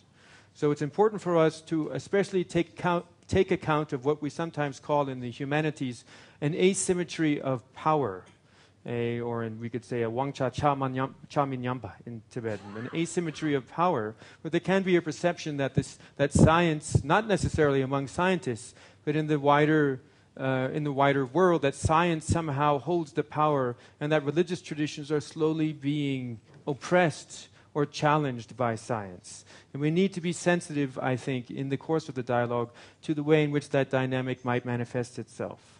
On the other hand, it's also very interesting to ask what is it that science is seeking in the dialogue? What can science get out of it, out of speaking with Buddhists? Obviously, Buddhists uh, are seeking to understand reality. Scientists are seeking to understand reality. But why? What is it exactly that we are seeking to understand together. In other words, in some ways, we might think of that explanatory gap. Somewhere in there is really maybe our meeting ground. And that's where maybe the greatest challenges and also uh, the greatest benefit might come. Uh, along those lines, I'd like to mention just another issue that I think is important that Evan ended on, which is the question of uh, phenomenology. John, just let me ask Yes. Um, do you need to translate yourself at all for his No, I don't. Prejudice. Prejudice. Okay. Yeah, thank you. Uh, um, I think Jivila will will translate if if uh, need be. In, in a way, I'm I'm really not speaking to Rinpoche. I'm more speaking to the scientists and the wider audience. Uh, uh, the um, the one I think an issue when we speak about phenomenology, uh, really this also raises the question of the objectivism of science and the possibility of truly objective knowledge. Is it possible to know the world in a way that, first of all, thoroughly apprehends the nature of reality, and secondly, does so in a way that is fully objective and is not dependent on an observer, for example, or on subjectivity? There's a tendency, perhaps, in the lay uh, understanding of science to think of science as being fully objective. And that's a type of knowledge that is only third person. But the phenomenological perspective in, invites us to consider the way in which even seemingly objective knowledge is also first person. Along these lines, within Buddhism, we can think about the nature of judgment, of what we can call perceptual judgment or cheshe in Tibetan. When, one is, when I perceive an object, according to a very standard type version of the epistemology, the image of the object is created in my consciousness. And then, on the basis of that image, I have an interpretation of that object. I might see it as red. I might see it as a flower. I might see it simply as a visual object. Which interpretation do I choose? Why do I have one interpretation over another? It's true that this is a reddish pink. It's true that it's a flower. It's true that it's a visual object. But which of these interpretations is the one that's coming to me now, and why? One way of thinking about that is the interpretations that I have of my perceptions are based in part on my training. And so, if I am a scientist, the way I interpret, interpret data is based on the particular discipline that I've been trained in. We might all see the same data, we might all look at the same image an, in an fMRI image, but the way we understand that image, if I look at an fMRI image, I just see a bunch of colors. If Richie Davidson looks at an fMRI image, he sees, he has interpretations of what that means that I don't have. When a Buddhist philosopher looks at a flower, if he's highly trained in Buddhist philosophy and is well, has done a lot of meditating, he can see, he can interpret the flower as being impermanent just by virtue of being able to see it. One can determine or know the impermanence of the flower as a correct interpretation of what one is seeing. That's not something that occurs to most of us in an ordinary sense, or most of us ordinary persons. So there's something about the way we are trained which changes the way we interpret the world. It changes the way we interpret the world. There's even an example in Buddhist philosophy of a rather dramatic version of this. It's said that in Buddhist cosmology there are different types of cosmological realms. So uh, we, we speak, for example, of the hungry ghosts or the pretas in Sanskrit, the yida. yida. Or we speak of uh, uh, celestial beings, tla. Or we can speak of persons. So it's said, for example, that if I see a river flowing by, as I see a river flowing by, if there's a yidak who also sees that liquid flowing by, if there's a, a hungry ghost who sees that liquid, what the hungry ghost will see is blood and pus. And if there is a God who sees that, what the God will see will be nectar flowing by. Are all of these correct interpretations? At this level, of, in fact, the claim would be these are different kinds of beings, so that actually their perceptions are substantially different. So that even the image created in consciousness is substantially different. That's a very dramatic case of a major difference. But if we set aside that dramatic case and go back to something like a flower, how does a scientist see a flower? How does a Buddhist philosopher see a flower? Is there a way in which part of this dialogue is trying to understand the differences in the way we see the world and what exactly can be our bridge? At what point can be our bridge? One possibility of a bridge is, of course, experience itself. The fact that whatever scientific data we are observing, we are necessarily observing it. It only becomes part of science if it is interpreted. And one type of scientific datum that we're trying to understand, for example, is consciousness. We all can experience our own experience. We all are aware of our own consciousness. Is it really a matter of how our, inter- our interpretive systems are forcing us, in a way, into certain types of interpretations that make the system seem incompatible? Is, there a, is, it, is it possible that we could change our systems enough to no longer have those incompatibilities? And this is at that point, again, of that, the explanatory gap. that Dresheki Bartong. So that's, I think, the main question I wanted to raise. The final issue I'd just like to say that in terms of, of we've talked about challenges to, to science, and I would humbly uh, suggest, uh, really reiterate some challenges to, to Buddhism that His Holiness has already suggested.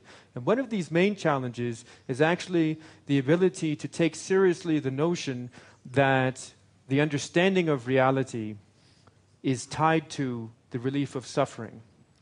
And that therefore we must revise our understanding of reality if we are truly interested in relieving suffering. If we, I, I, let me go back to one point here actually. That issue of relieving suffering is another uh, uh, very closely related to the interpretation of the flower. And I, I should really re- reprise that for a second. If I'm looking at a flower and I have various interpretations that come out of it, some of it have to do with my training, and some of them also have to do with my purpose. If I am seeing a fire, for example, and I interpret the fire as light, producing light, one argument, one reason for that might be that I need light. I'm seeking light. If I interpret the fire as being warm, one reason for that would be that I need warmth. I'm seeking warmth. If we take that notion, then, what we're saying is part of our interpretations is the way we're trained. Part of our interpretations is uh, part of our interpretations rest on what our purpose or our goal is. Is there something really fundamentally different about the purpose of science and the purpose of Buddhism? such that Buddhist interpretations of reality will always be divergent from scientific interpretations because the Buddhist interpretations of reality, in principle, are always based on this release of suffering. Whereas, what is the purpose of science? Why, is, what is, why are we interpreting this data? What are we heading toward? That may be a very key issue that brings ethics out in a, in a, in a critical way. And so, finally, uh, then, in terms of challenges, uh,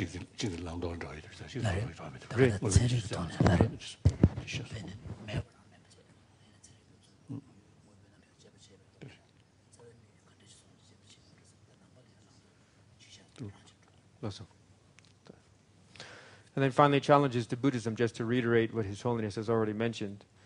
Uh, one of the challenges to Buddhism is really the ability to change, to revise the account of the conventional what would be called perhaps the Tanyeki Namshak. There are going to be different levels, different styles of accounting for the conventional according to different levels of Buddhist schools of philosophy. So there are what are called the lower schools and the higher schools. And they will each have a different account of the, con- of the conventional that can be used at different times for different purposes. Sometimes, for example, it's easier to understand the nature of perception by using the level of philosophy known as the Dodepa, or the Sautrantika. It's much more difficult to use that to understand the nature of perception when one goes up to a higher school, such as the mind only school. And so, we, when we're trying to teach others the nature of perception, we generally stay at the, at the level of, at least in the beginning, at the level of this lower school. Might a scientific, a, a sort of Buddhist appropriation of science into a new version of the conventional be possible that would fit somewhere in that hierarchy? It might not be at the top but some kind of a new version of the conventional that is based on science. And especially, and here's a question that I'm intrigued by could we come up with a version of the conventional based upon the Vajrayana, which I don't think has ever been done at this point, based on this notion of Lungsami. Uh, yeah.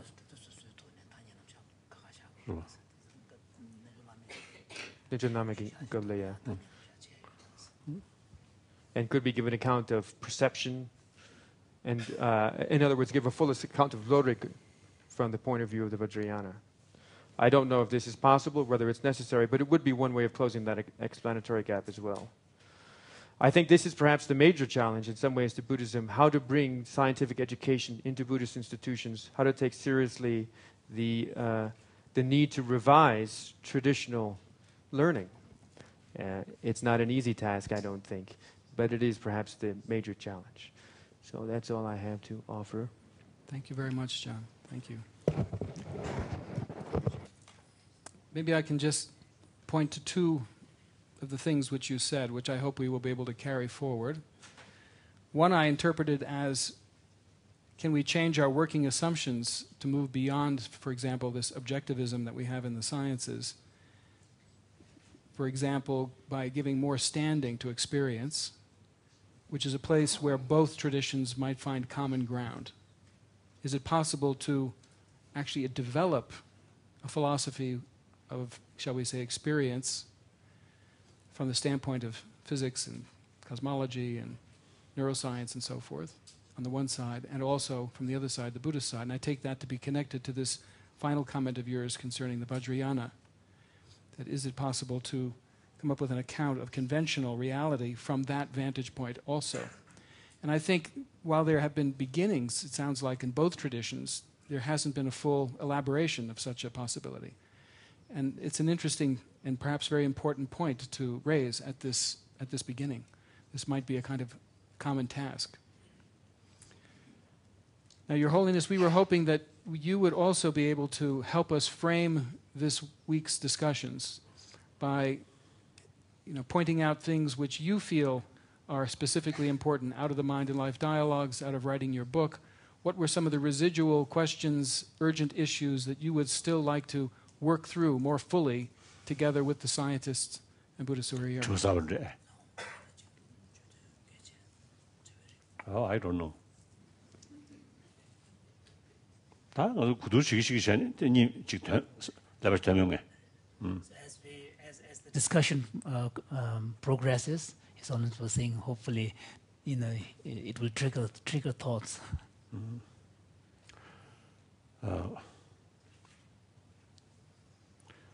as you, uh, uh, I think you touched. Mm.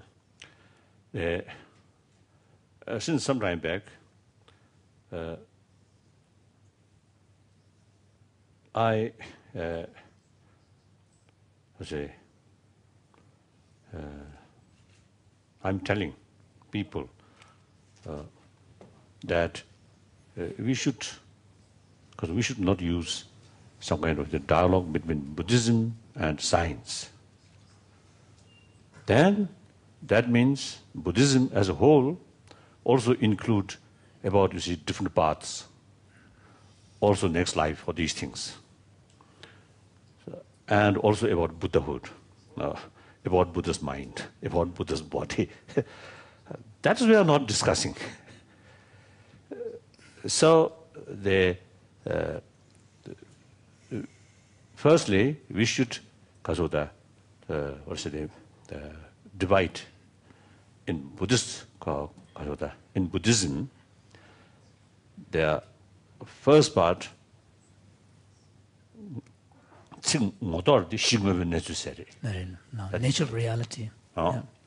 So that might be considered as Buddhist science. What's the reality? Hmm. Then, on the basis of that reality, then Buddhist concept or Buddhist philosophy come. So that's second part. Then third, Buddhist practice.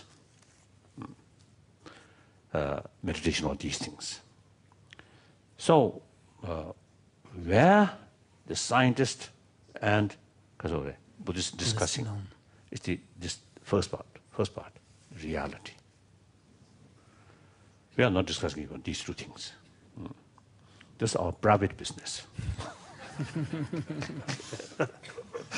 so in any way, you see, that is the beyond our ordinary sort of uh, perception right no no salam go to share is love the review to share is and another share to me for example there are domains of the buddhist uh, thought mm. which includes for example the various levels of realization uh. advanced levels of realization normally referred to as the ground levels uh. and and the and the parts so some of our uh, uh, uh, uh Experience meditative. uh, some people may have some experience. As far as uh, my concern, there's no such experience. so this is uh, something like is it talking something is beyond there. So that's not what's meaning. So the first part, Buddhist science. Now here, uh, as I mentioned earlier, external things, internal things. So, since I think external things is concerned, I think modern scientific research now, I think a few centuries now, concentrate on it with big missions so that your knowledge is much advanced.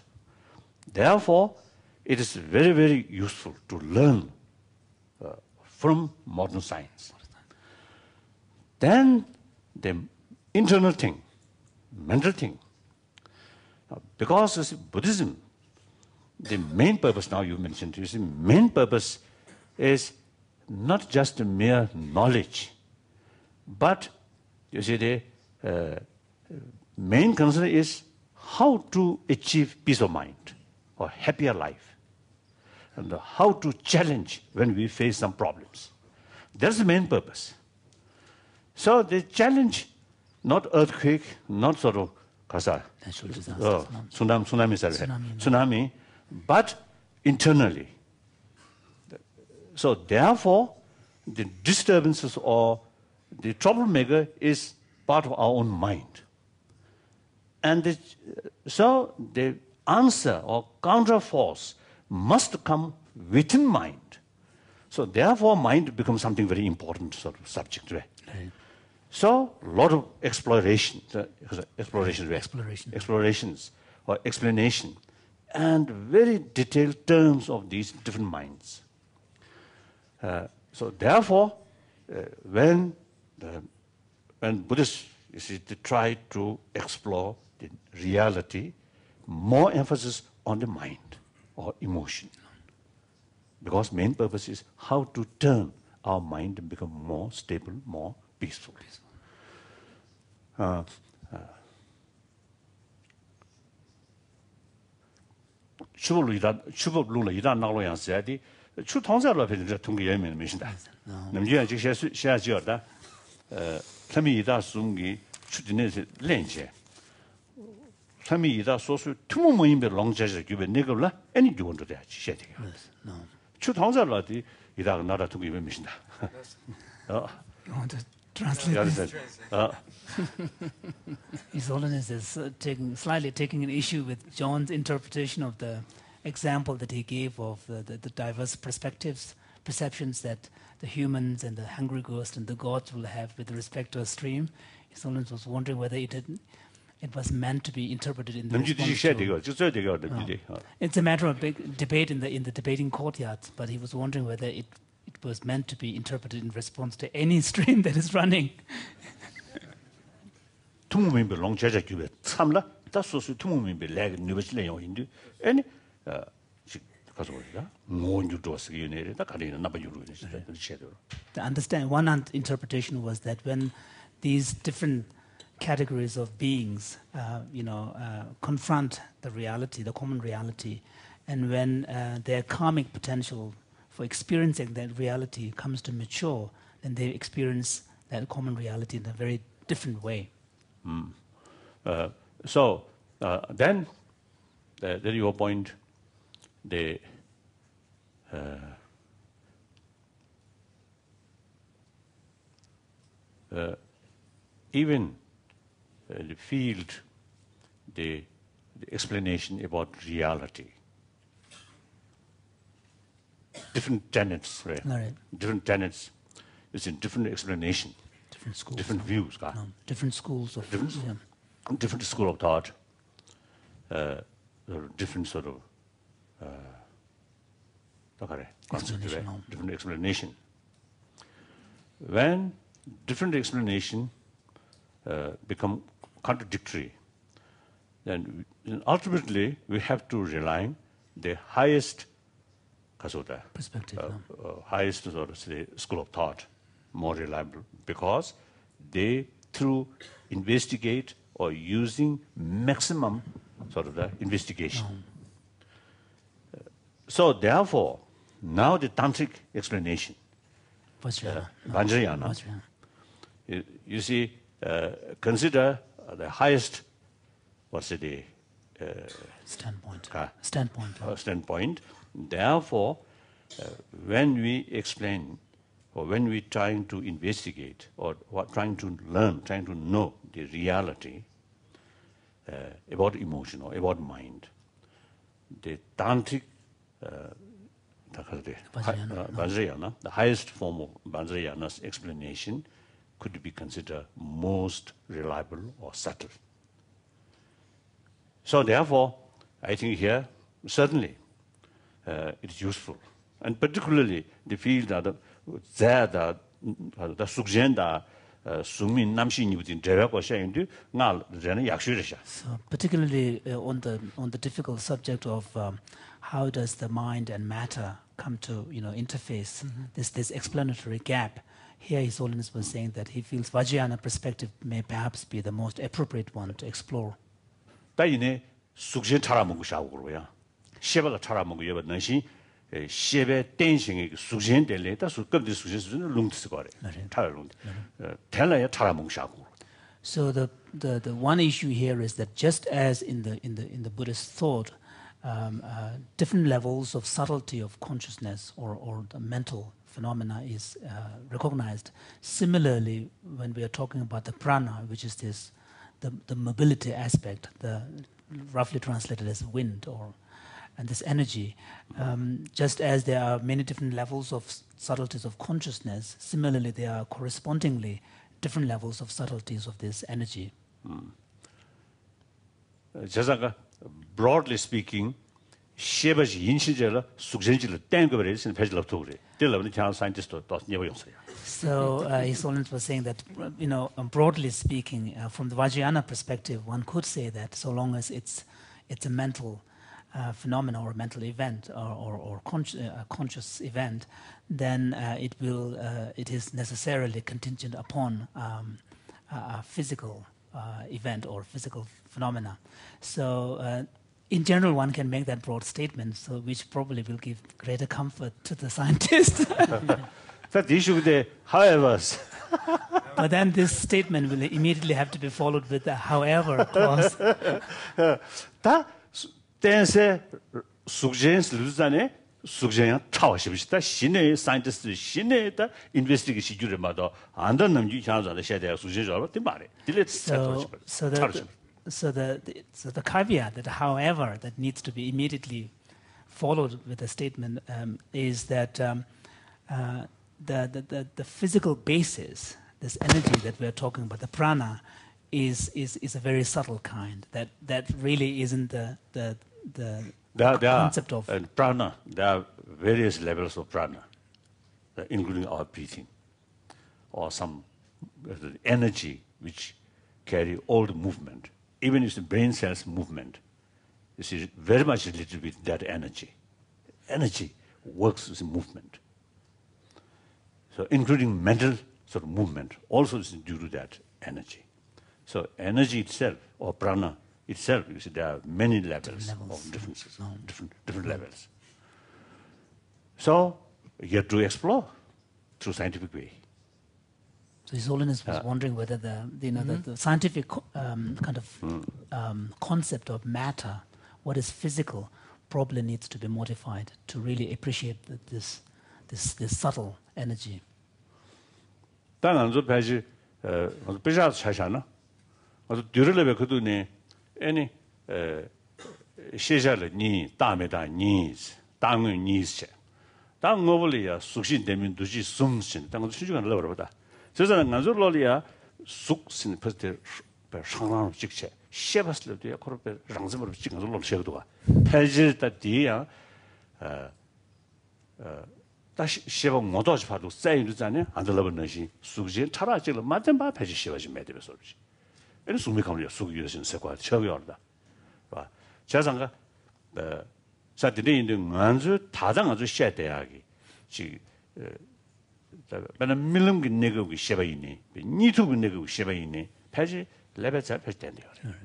His Holiness is uh, just reminding um, on the part of the Buddhists, uh, especially those who are uh, educated in the monastic academic centers, um, um, we, learn certain taxonomies of reality at a very early age um, before we fully know what they mean. And, and in, within this taxonomy of reality, we talk about there being permanent phenomena and impermanent phenomena. And within impermanent phenomena, we speak of three main categories of phenomena the ma- material phenomena, mental, and then the abstract ideas or abstract entities. So, because we learn this taxonomy from such an early age, we somehow tend to assume when we think of matter and mind as these two independent, discrete realities out there with their own kind of independent existence. So, this is something that we need to watch out for. That we uh, and and even in the case of um, uh, for example, you know, if you look at any, uh, if you take the Vajrayana perspective, then any mental event is going to have a uh, physical this in this Vajrayana sense and dimension. So uh, and and also in our day-to-day life experience, for example, there are subtle states of consciousness, like more subtle states of consciousness, like in the dream state, and many of which it is obvious that or deep sleep, deep sleep, all of these uh, um, mental states are contingent upon uh, the brain. 잘 먼저 안 천리고 안도 합탈이야 지 에, 안주 다 시방 안주 지단다 용락 시바 시샤로다 용락 시바 디디 담아 지 시바라고 배 시샤비지 시바라고 시샤 전이 다지 수진 땡여 레벨 잘 땡여 슬럽디 딘 도야 하나 매서시 Yes. No. 봐 Right. 도야 매서시도 Yes. So on the part of the Buddhists, um, because when scient- scientists talk about kind of biological uh, uh, understanding of the, the nature of consciousness, as you know uh, consciousness as being kind of you know uh, arising from biological phenomenon and consciousness uh, processes of consciousness being processes of the brain. Uh, from the buddhist point of view the discussion is still at the level of what the buddhists would refer to as the gross levels of mind. So in that respect you know his holiness is telling the buddhist colleagues that we don't need to be alarmed when we hear this kind of hmm. statement. Mm. uh, tada, uh, 어 갈고 배는 시발이야 차라를 체인 전에 어 똑벤 니 정신이 니급직 또 똑벤 니급직 되네 나외 니급직 또 나외 니급 똑슬 전에 어디 정신이 주다고 팀 차리지 다른 것도 해야 돼 정신이 주다고 순시들보다 자 디디 패질 바이올로지컬 저예도 패질이 Yes. 다 치외 니걸이야 사초 추메 메롱 롱 난가 그래서 또 동백강 줬어요 나야강 줬습니다 다 어, 나와시 샤인즈네 나와 통고 나와 니바 나와 숨바 다진데 탐지도 뭐 왜서 전에 바이올로지컬 저 앞에 찾아 So, from the 다 이니 디아든 가서 인베스티게이션 가보도가 Right. No. 땅에만 가서 럽대야들이 투동 중에서 잘다 딱지 세고 하지 Right. 다 투동 중에 유드 미신미 미신 유드 투동 중에미 다 다도 못 스타브레 So uh, now, if you if you relate this discussion to the Vajrayana perspective, then um, and within the Vajrayana language, um, there there is uh, um, a recognition of the different 똑변이고 levels. 세입니다. 똑변이고 나웬이고 다 똑고 들었더니 도미스 시기하래. 다 도미란다 말이지. Yes. 어. 동배내급, 동배내급. 똑변이고 사 정신 Right. No. 니그지. 되네 나웬이고 동거시거든. So in, in this Vajrayana um, kind of you know um, map of conscious consciousness, um, there is a recognition of different levels of subtlety and also quite different phases or stages. For example, one stage of the the consciousness is referred to as the stage of conception, but conception is in a, in a different sense. And uh, so the uh, thought, uh, conception. 다른 것도 또 도미니 시고 말다. 말이야. Mm, no, so we're not really talking about yeah. 원시 도미스에 디베 저가 말이야. Okay. So it's kind of a thought level, but he- again here it's it's the, the term is tricky. But the point is, um, Vajrayana makes distinctions between key phases of uh, our con- uh, experience of consciousness. One is the phase of thought. This is tokpa, uh, and then the one is phase of nangwa like, as an appearance.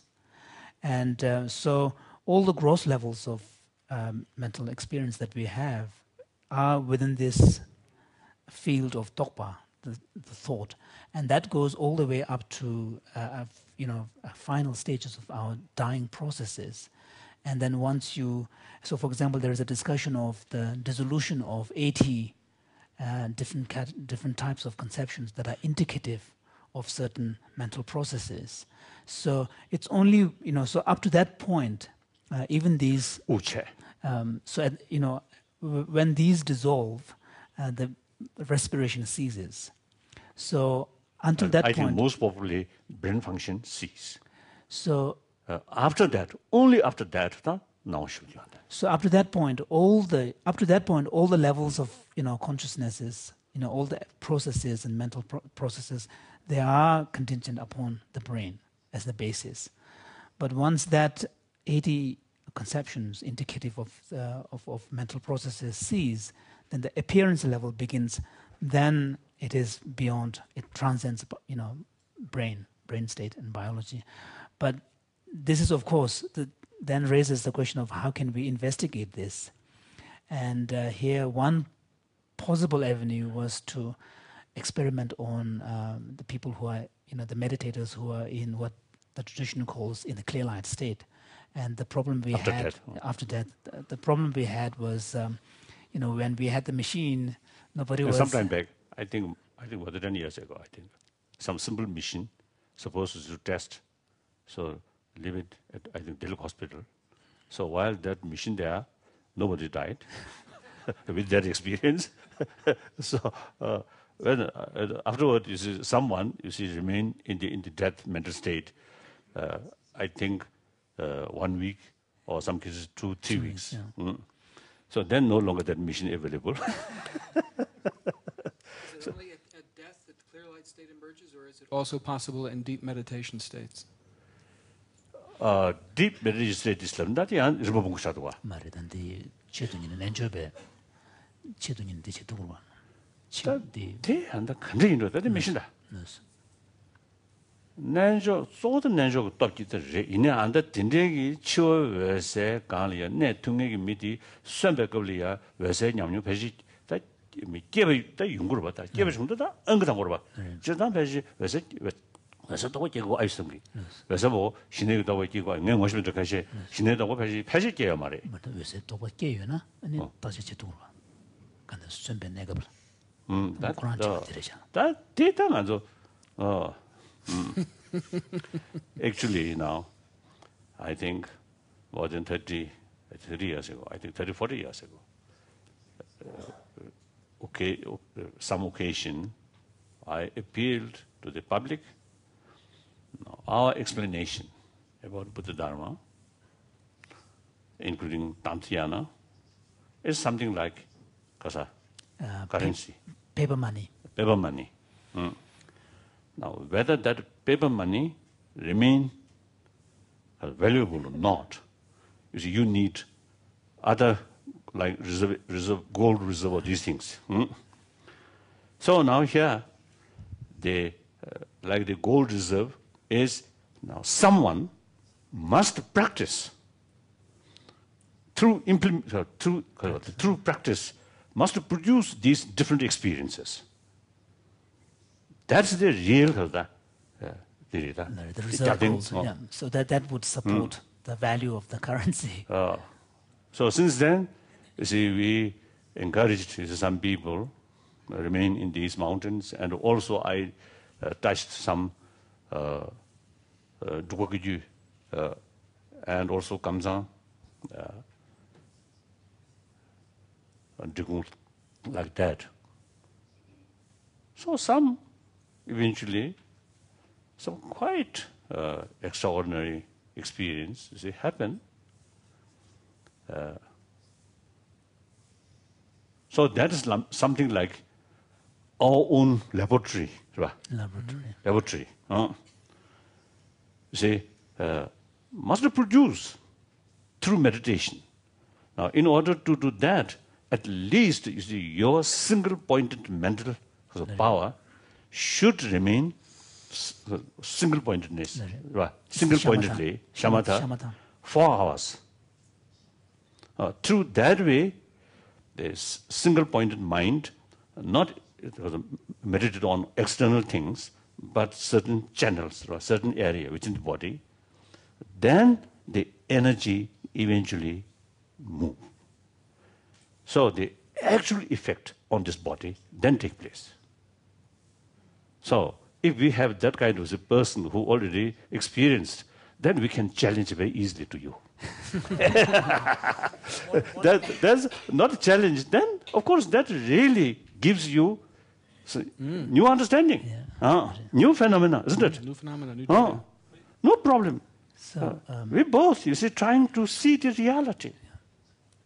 So to answer to um, Arthur, your question, His Holiness was saying that um, um, even those individuals who remain in a clear light state at death, that need not necessarily imply that while they were alive, they had this advanced experience themselves.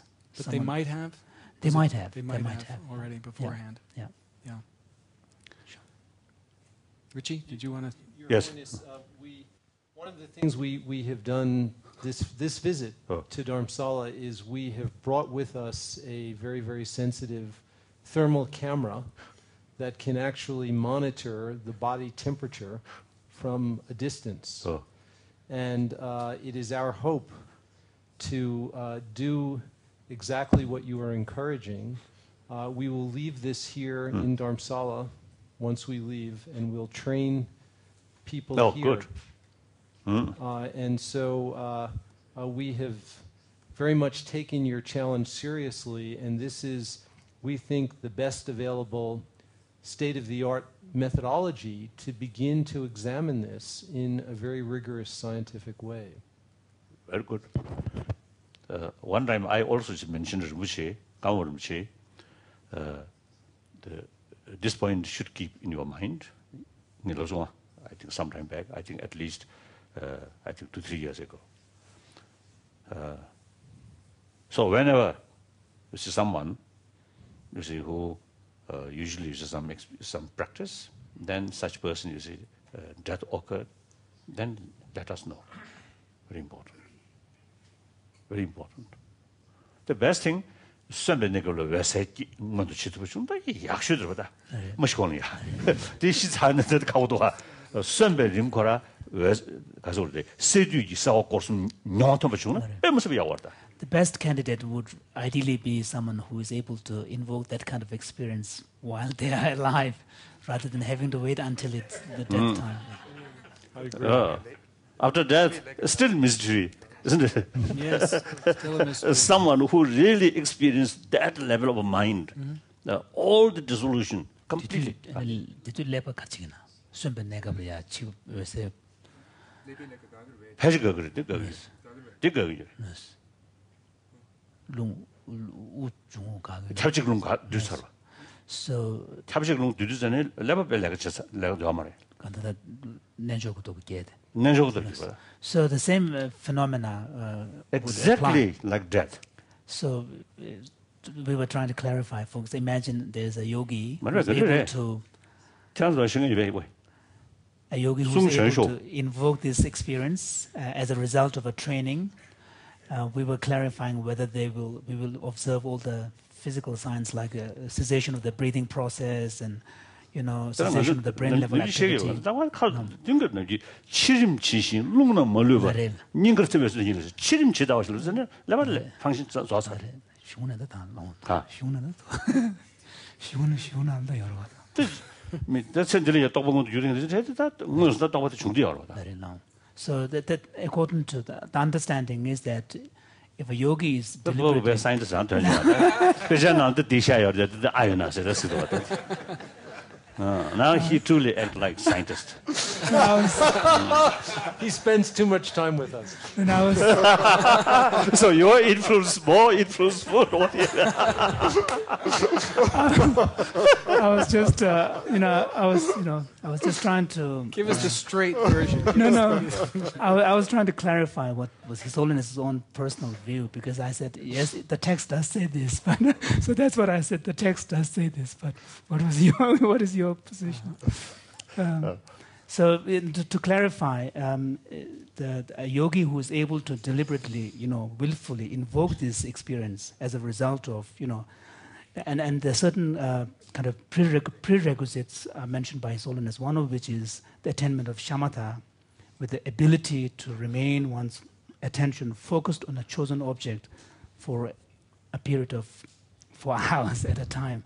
So on that basis, if a yogi is able Without to... slight, slightest sort of... Because of that. Not a wavering, distraction, oh. yeah. Oh. And fully alert, not just a singing, full alert. Right. Oh. Ah. Then if he's able to, he or she is able to bring that experience of clear light, of, of dissolution. No, no, no, no, no, no. through that way, then gradually begin to dissolve these grosser level of elements. Elements long. then further goes, further goes. And ta ngela kazore anda nawan tegi shida di di jitsimba. Mardan, di shishayra. Mardan, di shishayra. So the yogi who's able to, on the basis of shamatha, then of course through a long process of practices, is able to deliberately invoke the dissolution processes and reach a point beyond this 80 conceptions indicative of the mental processes and reach at this stage of nawa, the appearance. At that point, we'll have the same physical expressions. The breathing, respiration ceases. There should be uh, the, the brain level of activity should also cease. Hmm. Exactly like uh, experience at the time of death. Then reprocess. Right. Hmm. So on that way, you can transmit right. your, yourself to other body. So I believe, of course, uh, I believe uh, th- th- those you see, pe- people, those uh, sort of practitioner in the past. Uh, I don't think all of them liar. I don't think. Mm. Some may be liar, but not all. Mm. So therefore, there must be some basis. Some places long. So therefore, in my, my myself, you see, in the age around 30s, I also, you see, uh, very much keen see, practice that. Then, of course, time not permits. Now too late. Now I, pref- I prefer, you see, death as an ordinary person. I don't think we'd agree that you're an ordinary person. I don't think you're an ordinary person. So that's from the, uh, from the as a practi- practitioner's viewpoint, there's a failure. Of course. Of course, I can easily excuse because Dalai Lama is always busy, busy, busy. No time. That's good excuse.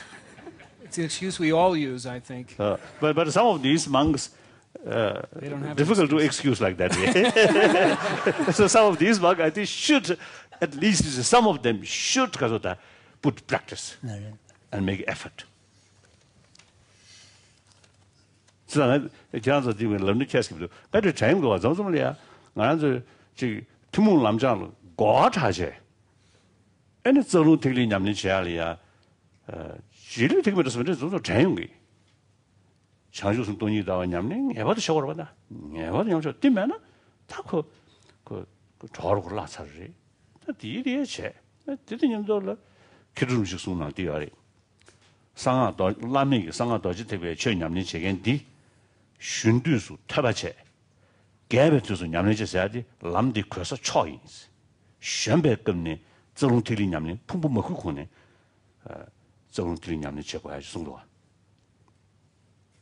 그래서 그런 것들이 예 가서 그게 티슈로 그러 참 자연인데 His Holiness was um, um, sharing with the monks that sometimes he feels that um, um, with so much emphasis placed on the common uh, foundational practices in, in, in the Buddhist path, such as bodhicitta and um, emptiness, understanding of emptiness, and so on, perhaps sometimes we neglect the importance of, uh, you know, right from the beginning, taking Vajrayana practices seriously.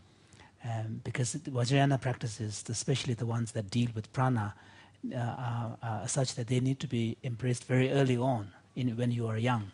In fact, Khedru Rinpoche says in one of his writings that those who have the attitude that when I'm young, I will study, and when I'm older, I will practice, this kind of thinking is totally counterproductive uh, uh, is uh, to the Vajrayana practice because the Vajrayana practice requires kind of you know utilization of um, you know bodily energy, which needs to be done when the body is in its prime, um, not when it is um, you know kind of going down. Important implications for our education initiative in terms of what practices may be best uh, taught at particular ages.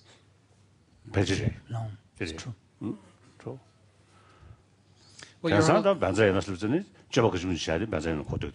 But uh, it's only was saying that sometimes, um, these days, when people speak of Vajrayana, sometimes they uh, take it as a kind of a license to do all sorts of silly things. but that's, uh, of course, uh, That's misunder- not case. misunderstanding of Vajrayana. Right, so at that time, lunch. Time for lunch. Thank you very much, Your Holiness. I think we are still filled with questions, and we look forward to the next uh, stage when we'll be working with Anton Zeilinger in quantum mechanics. Oh. So we'll come back here at 1 o'clock. We'll be here promptly at 1. What we'd like to suggest is that the those of us who are participants are going to have to leave immediately, so we'll allow His Holiness to depart, the Karmapa to depart, and then we will excuse ourselves. We'd ask that the audience basically stay put until we get out, because we have a meeting that we have to attend together and plan the afternoon. So please excuse us for not socializing with you in these in these minutes after the break. Thank you. Thank you both.